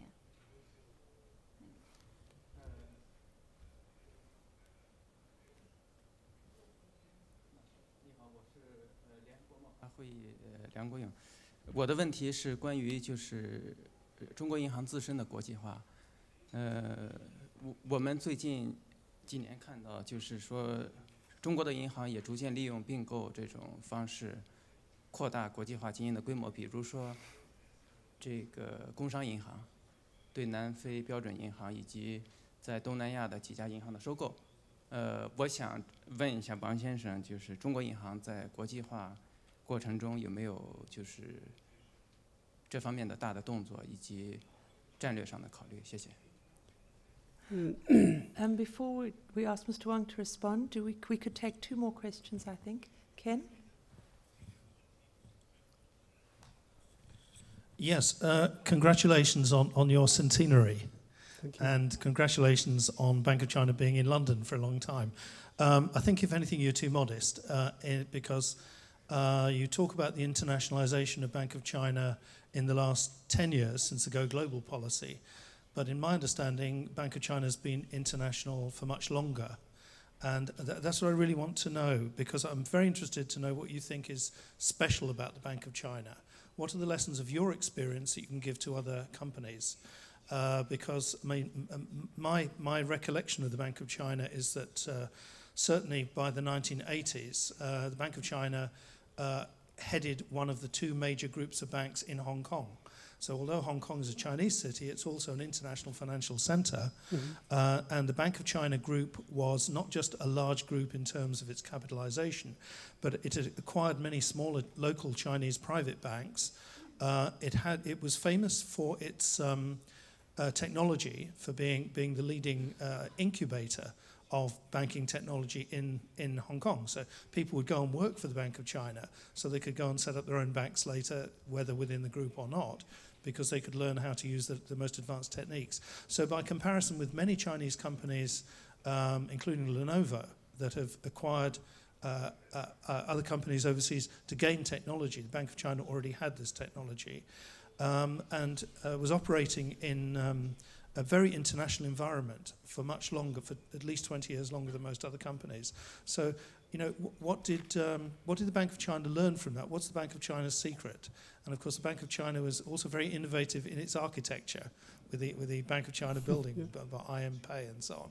So, you know, what what what what what advice would you give other companies based on this experience? Thank you. Thank you, Ken. Any last question, and then we'll ask Mr. Wang to give a one last question here, and then we'll ask uh, Mr. Wang for a comprehensive response, please. Um, you are in Geneva since uh, about two years, uh, if uh, I'm right. Uh, I just wanted to know uh, why you stay so secret and why you don't communicate more. And you, yeah, that was my question. Okay.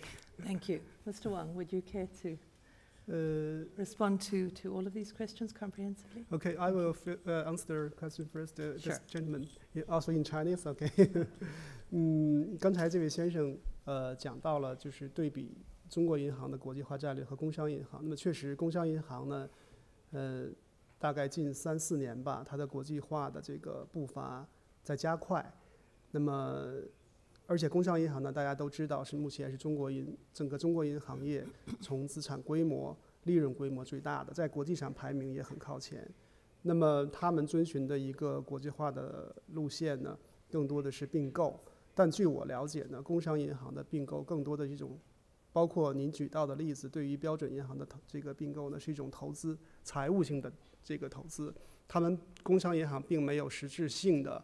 介入到标准银行的管理和经营当中，只是作为一个战略投资者，呃，参与股东的分红。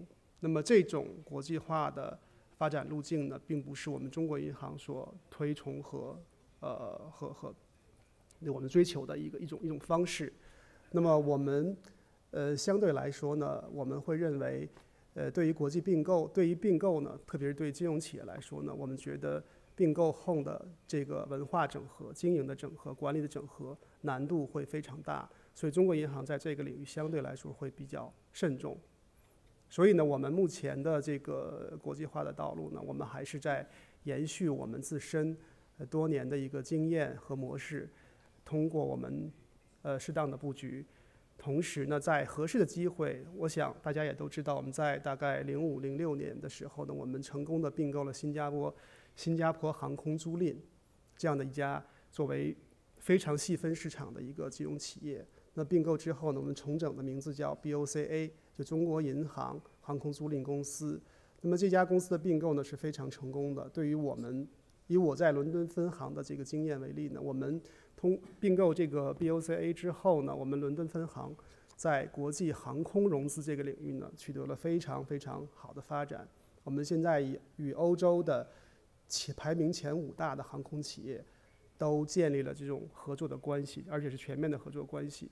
那么，使得我们整个中银集团在航空融资这个整个资产组合呢，更加健康和稳健。那么，这是我们呃非常慎重的去选择一个并购对象。并购之后呢，一定会会怎么讲？就会呃使得我们这个整个集团的形成一种一种比较竞争优势吧。那么，这是我们的一个一个一个一个选择。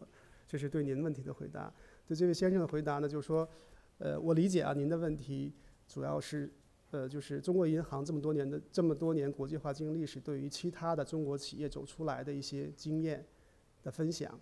那么，我想呢，这个这个方面呢，就是说，呃，因为金融企业呢是为实体经济进行服务的。刚才我也介绍了，我们中国银行的国际化战略的一个重要的支点就是服务中国。企业的国际化战略，那么企业有更多的这个这个对外投资、海外发展的需求，我们也有更多的这种业务的机业务的机会。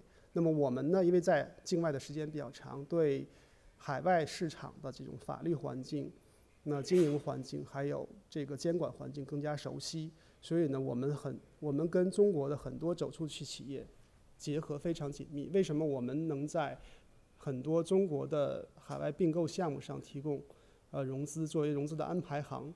那么主要是因为我们在中国企业走出去，刚开始去寻找并购对象，那么了解当地的环境的时候呢，就跟中国企业一道去为他们提供咨询的服务，跟他们一道去去去跟当地的律师啊、会计师呢去一块儿去沟通谈判，那么帮助他们去熟悉呃境外的市场和环境。那么这个过程中呢，也使得我们跟企业建立了一种非常紧密的一个战略的联盟关系。这个对我们的发展呢是非常重要的。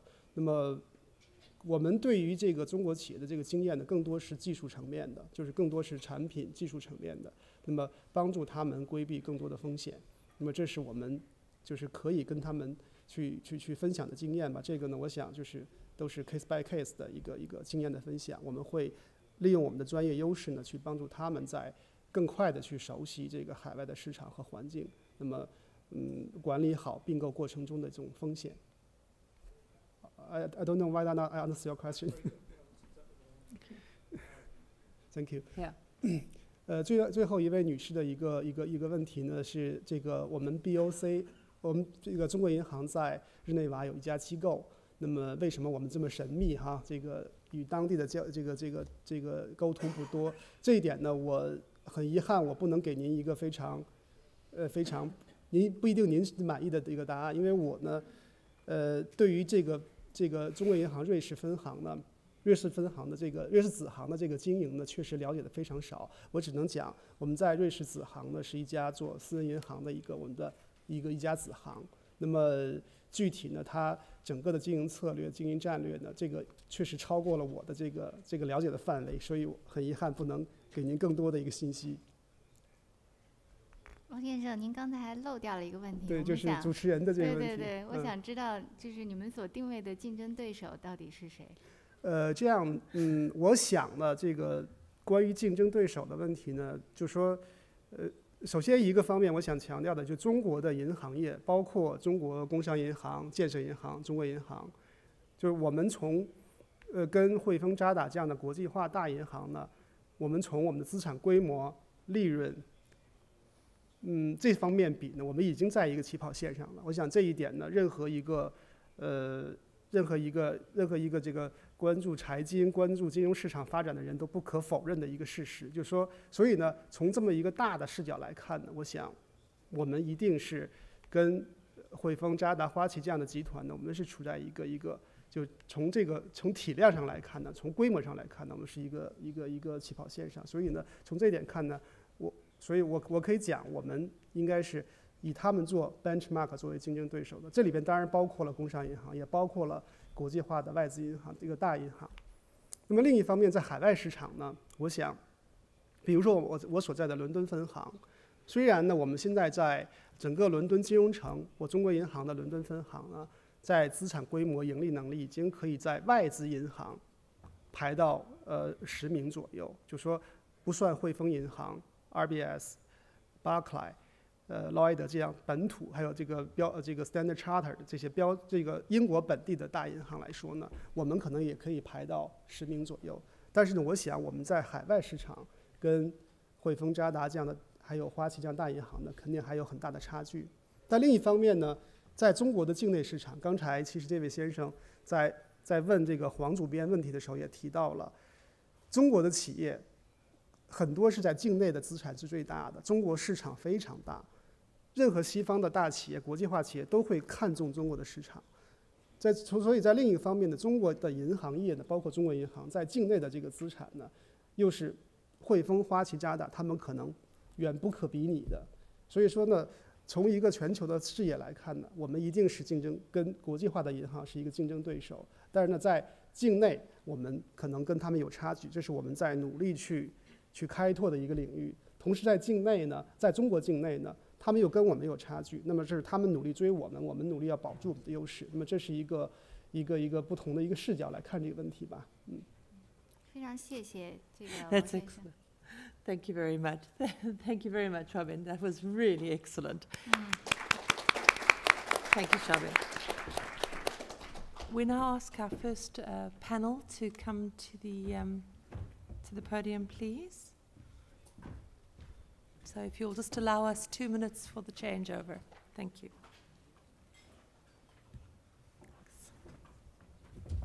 You okay, Jan? Please.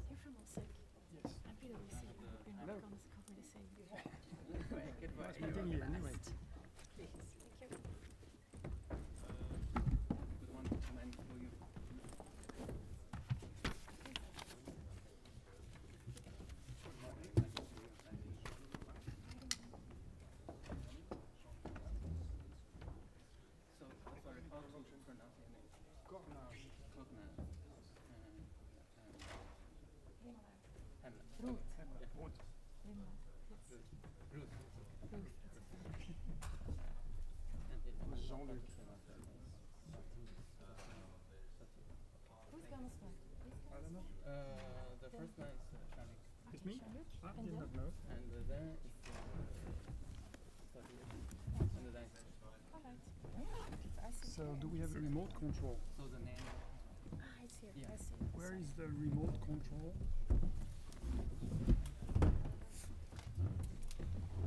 Is there a computer? Um, For the slides? standing over there?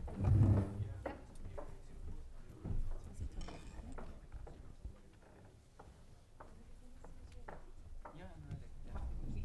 Uh, the Next, back. Very Quite simple. easy. Very simple. Should be alright. Uh, good morning, everyone. So it's, uh, okay. Do we have to press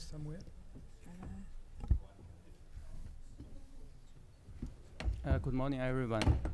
In this session, we are going to focus on uh, opportunities in Europe for Chinese investors.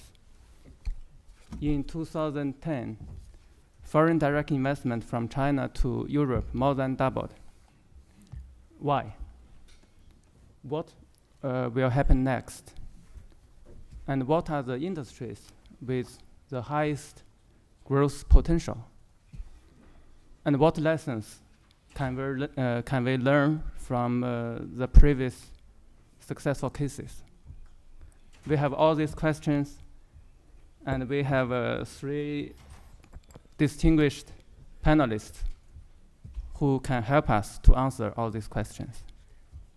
First, first I, I would like to introduce uh, Mr. Jean-Luc uh, Kochnas, Director of Investment Promotion at OSEC, which is a, a joint uh, economic promotion agency for the four French-speaking cantons in Switzerland. No. Uh, no? no. Yeah, please correct me because I uh, get this uh, information from the program, and you know. Uh, so I, I'm responsible for whole Switzerland and not only French-speaking canton. okay. Uh, uh, sorry for that. Okay. The representative of the French-speaking canton, the, the western part of Switzerland, is sitting in the room. Is Mr. Monnier down there? So now I have to inform ICTSD there's a small mistake in your program. okay. Uh, Mr. Kochnas, the floor is yours. Thank you very much. So, dear guests, I'm very happy to be here. Uh, I would like to say good morning to the, the European people and good afternoon to the Chinese colleagues because it's four o'clock in the afternoon in China now. Um, I'm going to speak about Switzerland. Uh, as it was mentioned before, I'm director of location promotion for Switzerland. Is this thing working? Yes. Uh, I would like to start my presentation with a little quiz. I would like to know what you know about Switzerland. I have pictures here on the, on the screen. I guess everyone knows the first person on the left.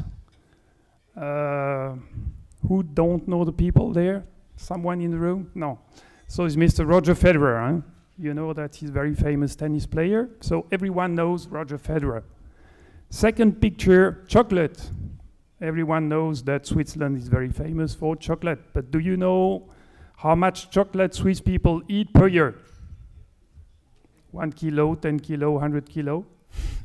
the answer is 10 kilo. We eat in Switzerland 10 kilo chocolates per year. And Chinese people, do you have any idea? 120 gram. So not much, huh? So uh, please come here and eat, take chocolate, eat chocolate, bring it back to your country.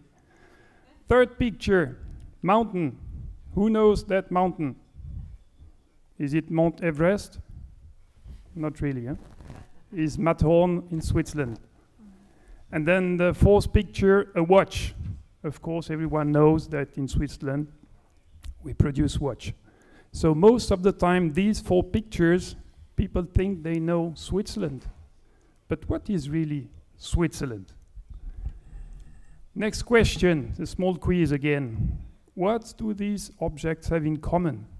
One mouse, three times www, and on the right, the Velcro tape, the scratch. All these things have been invented in Switzerland not the animal on the left. Huh? The animal is the mouse you use every day with your computer. Oh, sorry. Oops. This is the mouse you use every day with your computer. It was invented in Switzerland. It was done by Logitech in Neuchâtel with a research lab there. www, of course, is uh, internet. It was invented in Geneva in the CERN. This is the European Center for nu Nuclear Research. So the web was invented in Geneva. And the scratch on the right was also invented in Switzerland, and you see it everywhere now. So what's, what's, sorry?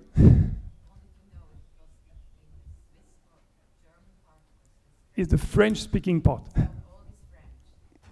well, old French, yes, but we also have innovation in the other part of Switzerland, of course. Uh, so what's the point here? So what is really Switzerland? Is it chocolate country or is it innovative country? I gave you some example just to make you understand that Switzerland has to be innovative. Why that? Switzerland, we have nice mountains, we have lakes, but we have no uh, natural resources. Our natural resources is innovation. We have to be innovative to survive in the world of today. You have a few pictures of what we can offer in Switzerland. Really, the core business is being innovative. This is, I'm not going to give you lots of numbers. This is a survey which was done by the European community regarding innovation. They have decided to do that survey among their uh, members, 27 countries, and they have decided to add a few other countries, and they added to that survey Switzerland maybe it was not a very good idea for them because Switzerland is ahead of all other countries. So in Europe, Switzerland is the most innovative country. Again, this is a sign, ladies and gentlemen, Switzerland is really the innovative country in the world, at least in Europe. And this is very important for you. Also a little bit of facts. Switzerland is, geogra geographically speaking, in the middle of Europe. Switzerland is a very small country, 7.8 million people. It's really, really small if you compare to big, big, big China.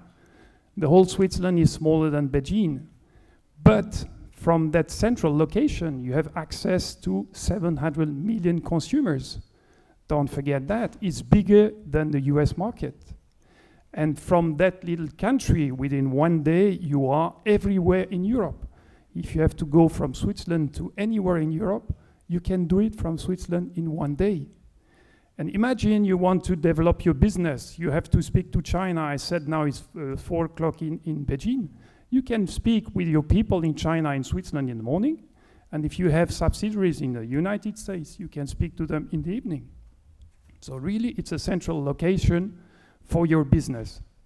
One more thing, you have 70% of the goods moving in, into Europe they go at some point through Switzerland from west to east or north to south. So it's really a central point to do business in Europe. I put here on the slide the first movers of Chinese companies who decided to join Switzerland to do their business. We just heard Bank of China, they are here already, and these are other very famous names. I'm sure you know all of them, and they are already now in Switzerland. So these are the first movers. They for sure have good reason to have chosen Switzerland to do business. So I would like you to think about it, and of course I can give you information. Think about Switzerland when, when you want to choose a location to do business. I was asked to give you the clusters of the Swiss economy. These are the nice nine clusters we promote. And uh, as you can see, it's almost all related to innovation. Life science, chemicals, and pharmaceuticals industry. It's historically a, a really big cluster in Switzerland. Medical technology, where does it come from? It comes from the watch industry because to do medical technology, you need very uh, precise people. It's like watches. If you make a pacemaker, for example, you must really make sure that the quality is there.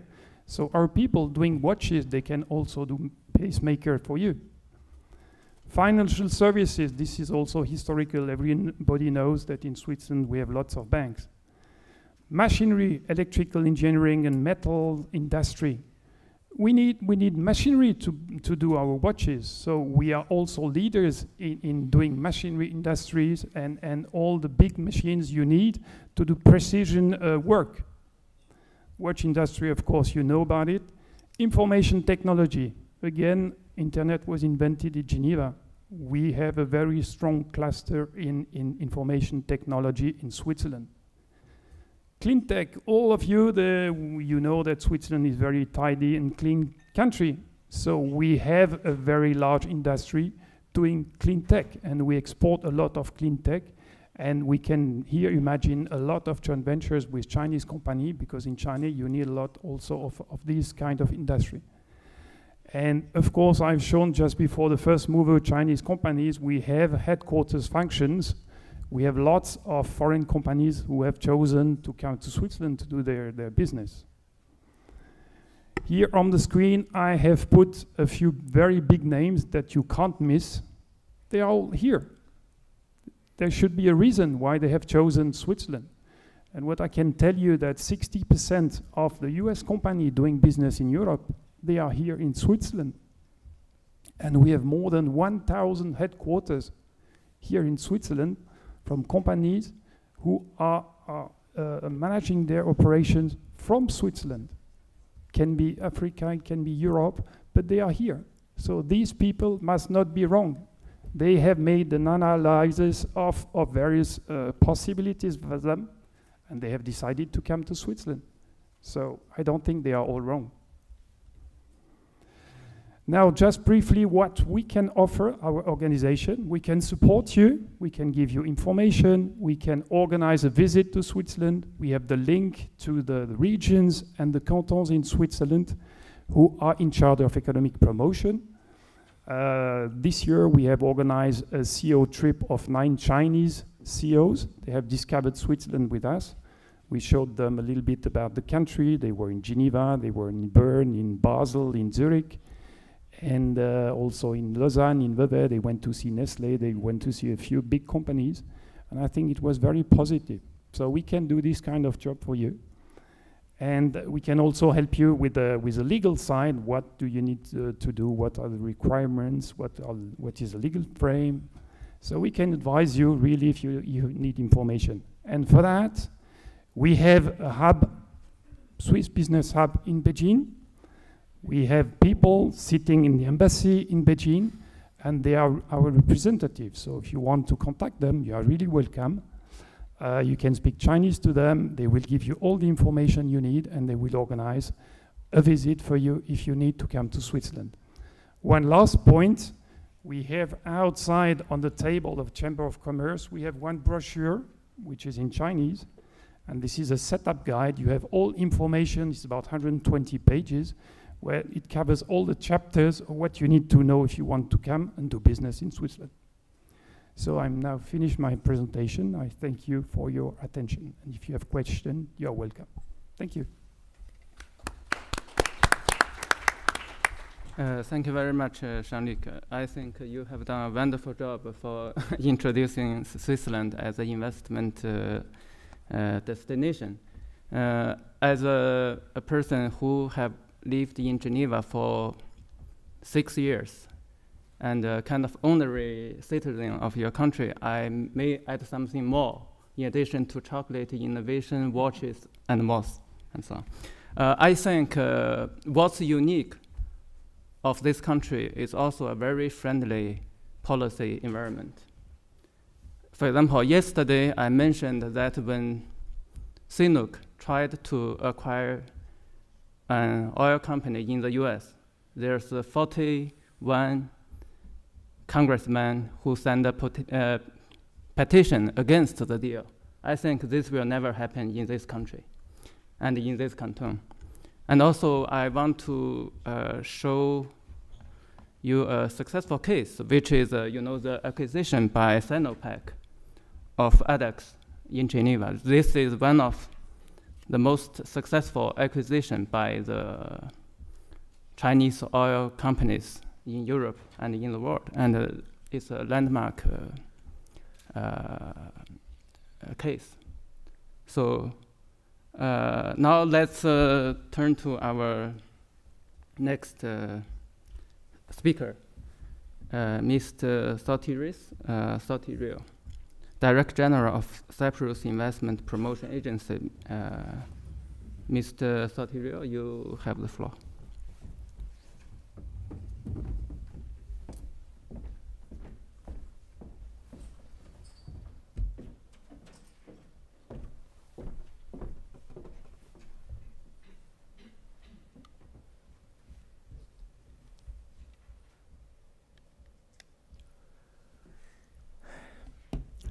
Ladies and gentlemen, a very good, uh, good morning to everybody. I will be giving you a short presentation about Cyprus, which is a small country, but with a strategic location. In fact, it is a perfect stepping stone to Europe, the Middle East, and beyond.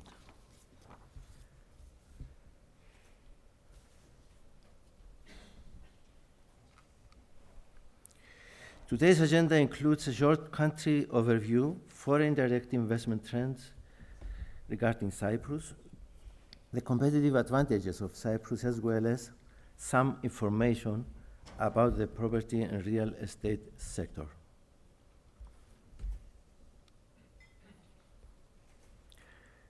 The official name of Cyprus is the Republic of Cyprus, with its capital Nicosia. It's a very small country it's a member state of the EU and a member of the Eurozone as from 2010 and 8. It is the third largest island in the Mediterranean Sea with a population of almost a million, less than a million. The official languages are Greek and Turkish. However, English is widely spoken throughout the island and is especially used as a business language.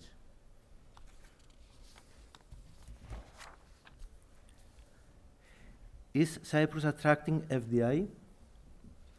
The answer is simple. Cyprus already has a track record in FDI.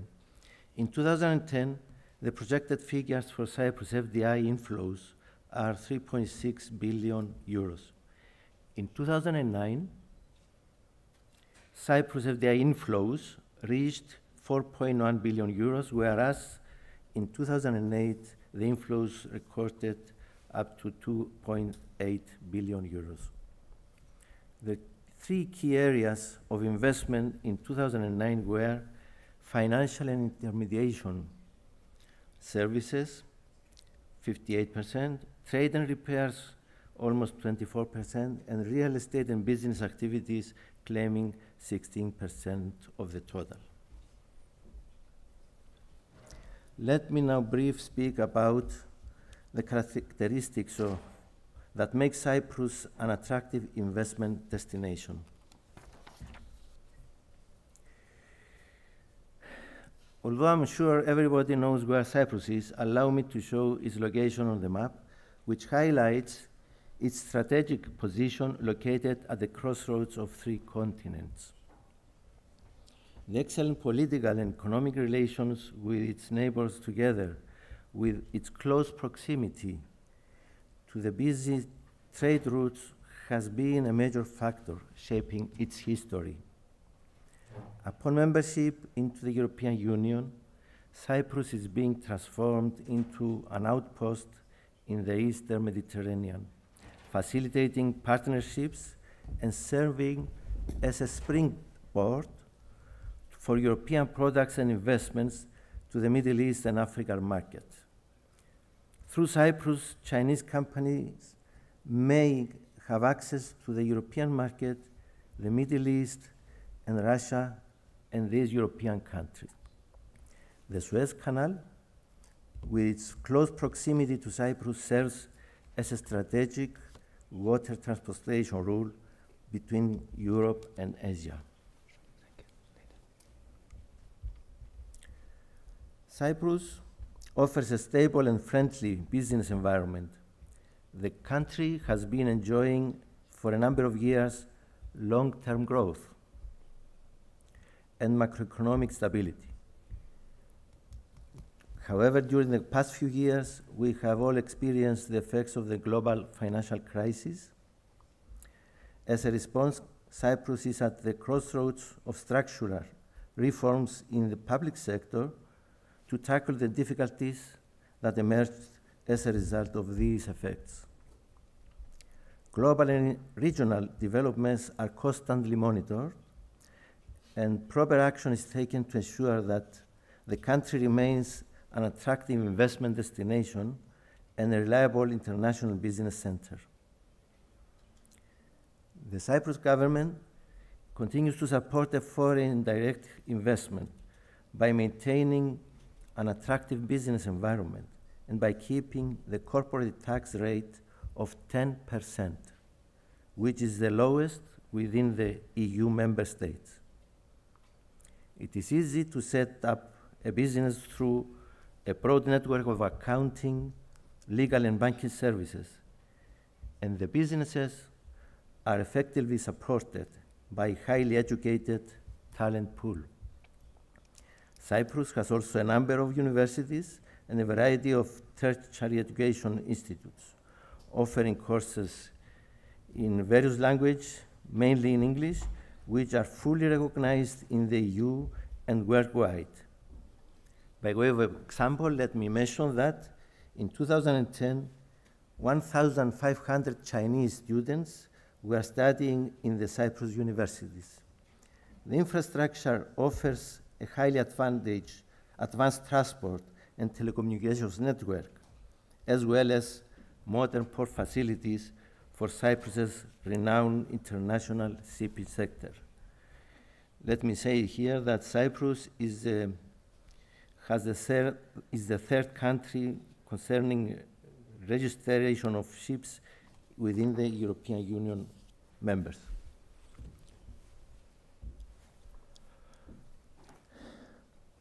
Now, let me just mention something about the lowest corporate taxation rate, which is 10% in the European Union.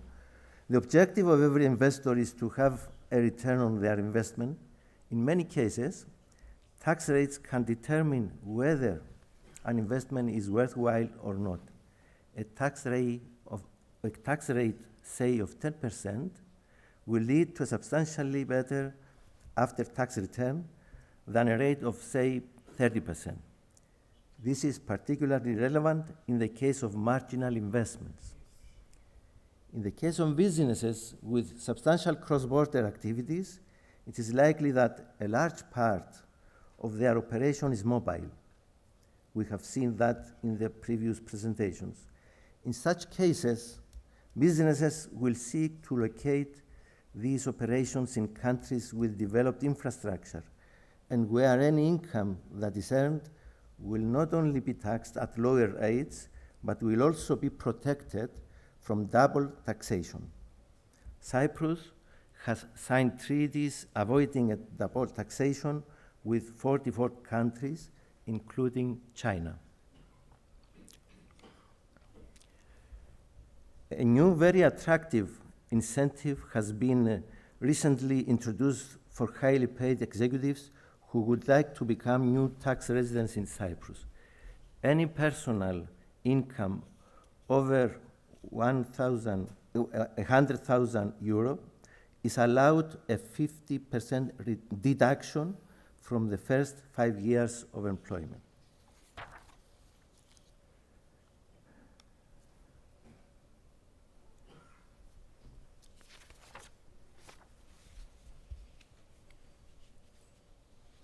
Now let me mention something about the investment sectors. Foreign investors may choose to focus on activities across sectors, including headquartering, warehousing and logistics, regional servicing, and R&D centers, and shared services. Some key target sectors in Cyprus include banking and financial services, shipping, real estate, energy, including renewable energy and ICT. More information on these sectors can be found in the presentation handouts.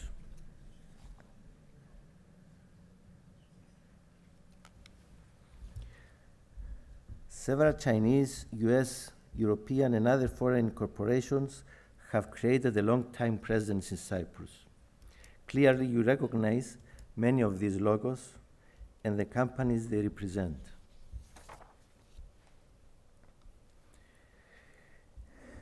Now let me brief, briefly mention a few about uh, the property and real estate sector. Real estate was and still is a large prime mover of the Cyprus economy. A large, a large percentage of FDI flows to Cyprus as well. Um, between, um, there is a positive correlation between the growth of, of tourism and the real estate market in Cyprus. According to Cyprus law, 100% ownership to any foreign property buyer is allowed. Now, an area which uh, is readily available for investment, as I mentioned, is the property and real estate sector.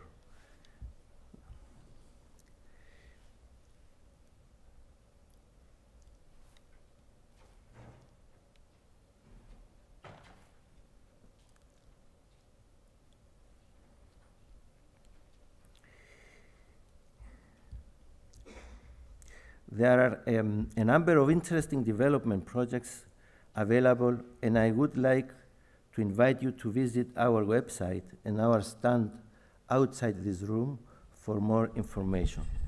However, for the sake of saving some time for the next speakers and for discussion, I will only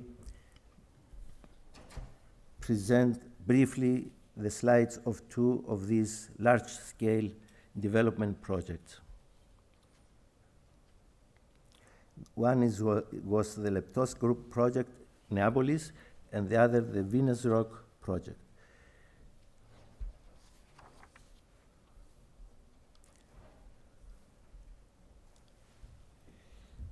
Please allow me to give you some information about Cyprus residency. If any of you would like to apply for Cyprus residency, certain fast track procedures are available, and it comes to the purchase of a private home of at least 300,000 euros. In addition to that, a third country national may be granted citizenship when the applicant has direct investment in Cyprus exceeding certain limits. I'm not going to dwell on this. Cyprus has been always an attractive tourist, tourist destination. I will simply say that Cyprus is a country with a European standard and style of life and with proper infrastructure in place. One can enjoy security and safety, excellent public and private international schools, high standard of living, low stress minimum commute, gastronomy, history, and art and, la and last but not least, fabulous weather. The enviable quality of life we offer is important to investors as they want to ensure their management and employees are happy in their new location. Again, Cyprus ranks high in this key driver as well. Thank you for giving me your attention. I will now be happy to answer any questions you may have. Thank you very much. Uh, uh, thank you, Sotiris. Maybe we take uh, questions uh, later, yes? Uh, in terms of FDI flows, uh, Cyprus has a very strong link with Russia. It's like Hong Kong for China. Uh, the country played a very important role as a bridge uh, for Russian investors. And I think maybe in the future it uh, will play a similar role for investors from other countries and from China. Now, I would like to introduce our last panelist, Ms. Uh, Ruth Hamelaya.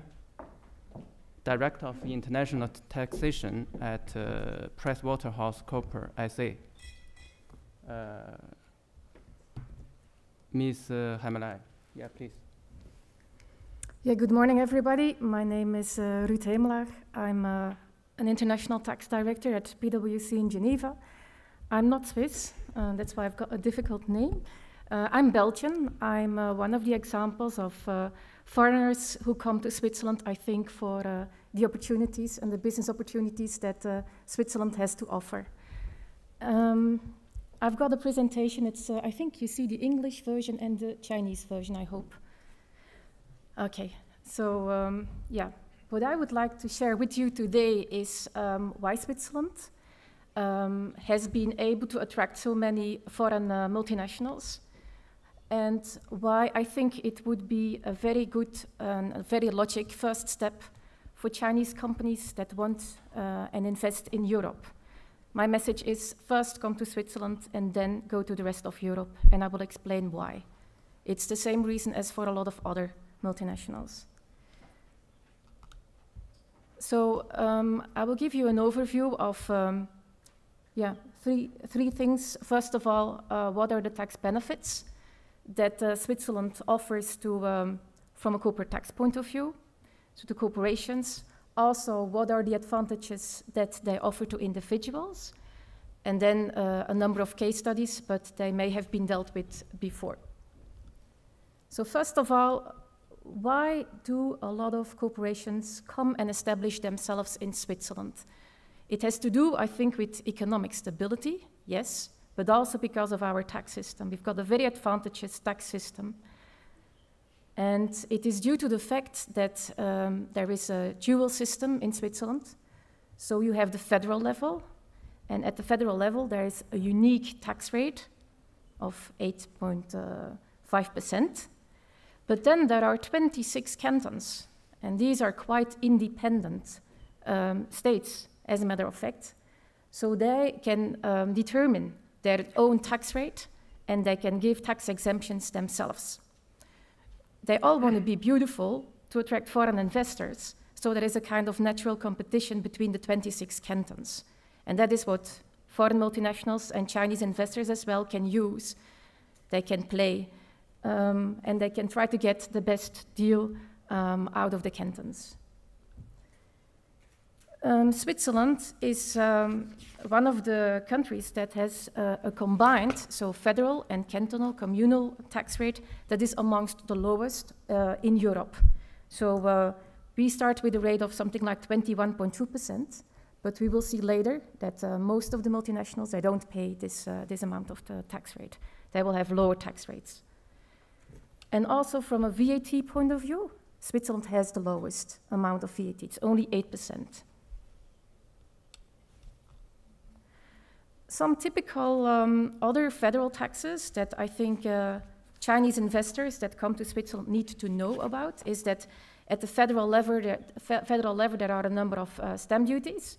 Like there is an issuance, uh, issuance stamp duty. Sorry, it's here. Uh, it's uh, when you increase the share capital of a Swiss company, you need to pay stamp taxes of 1%. There is, uh, there is an, an, amount as from which you need to pay it, and there are also a lot of exemptions. And another important federal tax is uh, dividend withholding tax. So if a Swiss company is going to pay a dividend to an investor abroad, there will be 35% dividend withholding tax, but again, we normally do the necessary that we don't need to pay it. At the cantonal level, are, there are two, I would say, important taxes that you need to know about. It's, there is an annual capital tax. So a Swiss company needs to pay to the canton on the amount of its net equity a certain percentage. Again, there are 26 different cantons, so the percentages are different from, from canton to canton. And then there is also real estate transfer tax and real estate capital gains tax, and that is also lev levied at the cantonal level. So I talked about 35% dividend withholding tax that in principle is due when a Swiss company is going to pay a dividend to its uh, foreign investor. Well, it is quite easy not to pay it if you interpose a European holding company, we would say, that has domestic legislation that exempts dividends from paying dividend withholding tax. So you normally don't pay the 35% dividend withholding tax if we would be in a structure with a Chinese investor on top.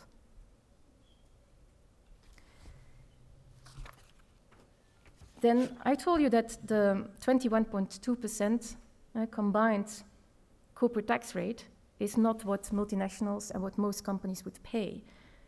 Um, for companies that come and establish in uh, Switzerland, and they're not very, I would say, mature and sophisticated groups yet, and it's like a first step to come to Europe, what we would always recommend to do is to come to Switzerland and set up a kind of hub structure, a kind of trading company. I hope you see it the, uh, I would say the key of this type of, um, uh, of setup is that in Switzerland, if you set up trading company and around 80 or more percent of your, of your business is out of Switzerland, it's like an offshore tax uh, regime, you have a uh, cantonal holiday based on which you're only taxed on 20% uh, or less of your profit. So your effective tax rate is lower than a 21.2, it's between 9 and 11 percent on a combined basis. That is, this is the structure that we would always recommend companies that are quite new, that have nothing yet in Europe, to come and set up in Switzerland first before going to the rest of Europe. If you are already a very uh, mature and sophisticated group and you need a kind of uh, headquarter in uh, Europe, then we would recommend uh, companies to come and set up a worldwide or a uh, European headquarter in Switzerland. And then your effective tax rate, so the combined federal and cantonal tax rate, will only be between 6.5 and 8%. And it's a combination of a ruling that you will get on the cantonal level, it's the same as the first one, but then you will also get a uh, ruling at the federal level. But this is really for sophisticated, mature businesses that can put a lot of key functions really the, the very core and key functions for the business that I can put it in Switzerland. This is for sophisticated, mature companies, not if uh, companies are just going to come to uh, Europe to see whether uh, Europe is going to be a, a, good investment place for them. This is probably not for them. This is for the sophisticated ones already. And then, of course, there is a holding company regime in Switzerland, based on which your effective tax rate is normally 0%. 7.8% is for all of the income that is not related to your investments. This is for uh, companies, um, the, the, the, goal of which, which is to hold participations in other companies. Then you normally are not taxed in Switzerland. It's a very good system. And if you would have some other uh, sort of income, interest expenses, that would be taxed at 7.8%. So these are the structures that we use for our clients and these are very advantageous tax structures compared to uh, the rest of Europe. Then there is another possibility, and that is uh, cantons. They are still they can still provide cantonal tax holidays, so full tax exemptions for a period of 10 years, if you come and establish your business in a canton, and um, a number of conditions are fulfilled. So it's, it's an, a business that is not going to enter into competition with the industry that is already uh, based in that canton. Uh, you create extra jobs, and it's, uh, from an economic point of view, very relevant for the canton. And then, of course, there's some part of negotiation. Uh, you can uh, try to get a cantonal uh, tax holiday based on which you will be exempted on the cantonal basis for 10 years. Something unique about Switzerland is that, and a lot of our clients, I mean, we apply this for a lot of our clients, is this is a culture um, where you can talk to the tax authorities. They're your partner. So if you come and establish your business in Switzerland and you want to know upfront how it is going to be treated from a tax point of view, you can go and sit down and have a conversation with the tax authorities. So it's a unique system of uh, rulings. You can get upfront certainty, which is uh, uh, very much appreciated by a lot of uh, multinational companies. So good relationship. This is what you have already seen before. Um, I think um, there was a study from Arthur D. Little, and they uh, interviewed a number of multinationals that uh, came and set up regional or worldwide headquarters in Switzerland.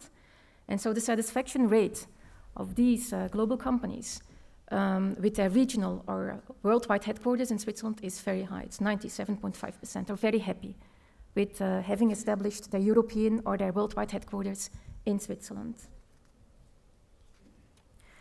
Something short about um, what are the benefits that Switzerland um, can give to individuals that come and establish in Switzerland. It is also to do with the rate, the uh, combined wealth tax and income tax rate for individuals in Switzerland is quite low if you compare it with a number of other European countries. And there are some specials. So if um, a company needs to employ some uh, foreigners because of their um, specific capabilities, because of their spe specific knowledge, then the, the foreigners, they can, uh, they can benefit from an expatriate tax regime, which will allow them um, to get tax-free allowances, like housing allowances and also school fees. Then this is for the, I would say, for uh, the very wealthy individuals that have no gainful activity anymore, that come and establish themselves in Switzerland. This is a system, it's a lump sum taxation system, which is still allowed in a number of cantons. And it means that these people are not taxed on their worldwide income, but they are taxed on a kind of um, expenses, cost of living. This is very advantageous for a number of uh, individuals, like some uh, big stars that come and uh, establish themselves in Switzerland, but also some very wealthy business people that do not have any gainful activity in Switzerland anymore. They make use of this system. And then, of course, um, Switzerland has a number, a, a, large number of double tax treaties that will avoid um, individuals to be taxed twice. Um, some case studies, um, they may have been um, treated before, but um, what we see for uh, US multinationals is there is a trend that they establish their European headquarters in Switzerland. There are examples of big multinationals, US multinationals, that they've got worldwide headquarters in Switzerland as well. But what we mostly see, and that's the case for McDonald's, McDonald's, they moved in 2009 their uh, European headquarters from the UK to Geneva. And in 2008, uh, Yahoo did the same, from the UK to Geneva. If we take a look at European uh, multinationals, they come and establish their worldwide headquarters in, uh, in Switzerland mostly. So not only European, but really worldwide. The real spin in the web. They come and uh, establish it in um, Switzerland. Two examples, these are, these are Danish, Scandinavian uh, uh, groups. So uh, Ferring, a biopharmaceutical group, established its um, worldwide headquarters in uh, Vaud in 2005. And uh, Nycomed, another pharmaceutical company, uh, did the same in 2007. They're based in uh, Zurich. And then, of course, um, I think um, we have a very good track record for Chinese investors as well. There are a number of examples. I've just put here two examples the Bank of China, uh, we are very happy to have Bank of China in uh, Geneva since 2008. And uh, uh, has established its um, head office, its European headquarters in Schaffhausen in Switzerland in 2009 from London. So um, the message that I would like to give is that Switzerland has a very good track record to establish and to attract multinational companies for be it a trading company structure, be it an uh, headquarters structure, be it a holding company structure here in Switzerland. And it is a logic first step before going out to the rest of Europe. That is, um, I would say, this is a recommendation instead of first establishing yourself in another country in Europe. It's difficult to come back to Switzerland. You will have a number of issues to deal with locally if you want to go out from France or Germany. So it's better to first come to Switzerland and and set it up from there. Thank you very much. If you have any further questions, um, I'm here, so uh, please uh, feel free to, uh, to ask. Uh, thank you, Ruth. Uh, after hearing your presentation, I'm further convinced that the Chinese companies should invest in Switzerland. Uh, now I would like to open the floor for questions. Due to the time limit, maybe we limit uh, to three uh, participants. So the floor is open. Any questions about uh, innovation in Switzerland, chocolate, everything?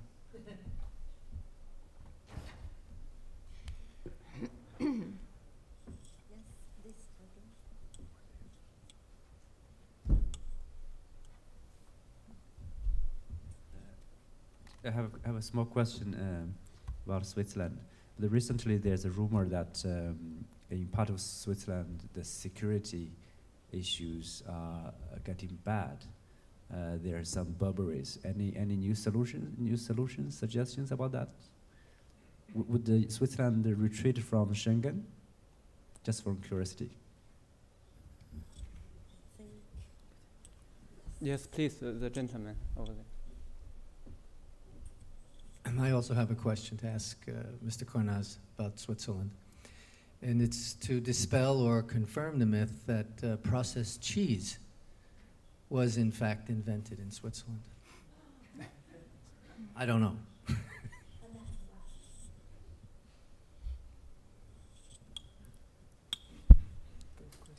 uh, Professor Wu. Uh, my question related probably to, to taxation in uh, in Switzerland because recently uh, U.S. and Swiss has some uh, argument about taxation opening a bank account. Uh, my understanding is the U.S. is a, a, tax authority supposed to tax all the incomes on a global basis in comparison to some other countries only tax the income on a domestic basis. My understanding the China tax, tax code is also tax uh, the citizens or companies on global basis.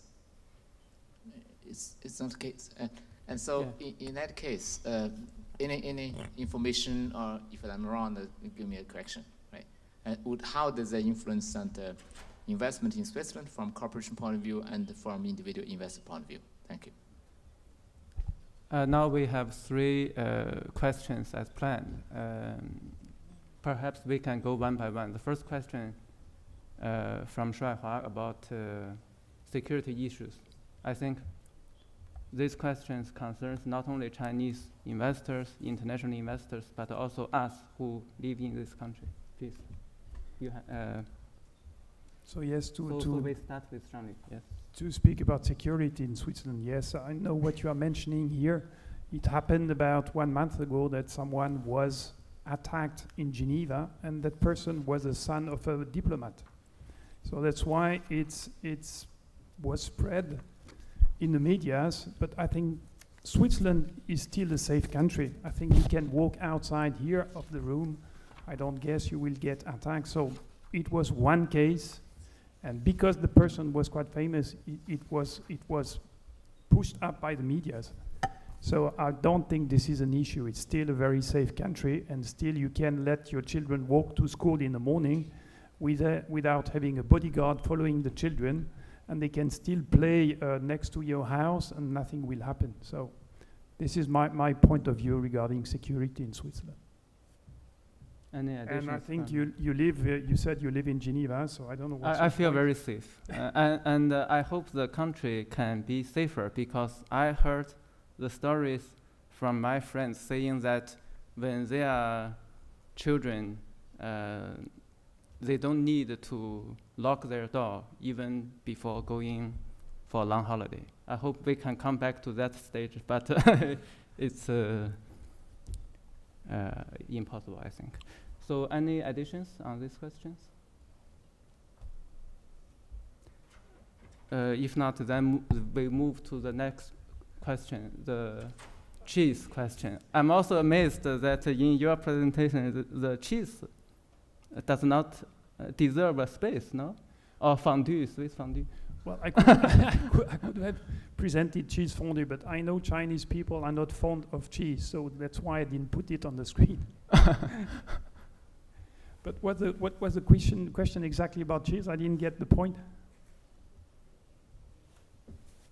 I was told that uh, processed cheese, Mhm. so, you know, that horrible stuff that is usually put between two pieces of plastic, and they call it cheese.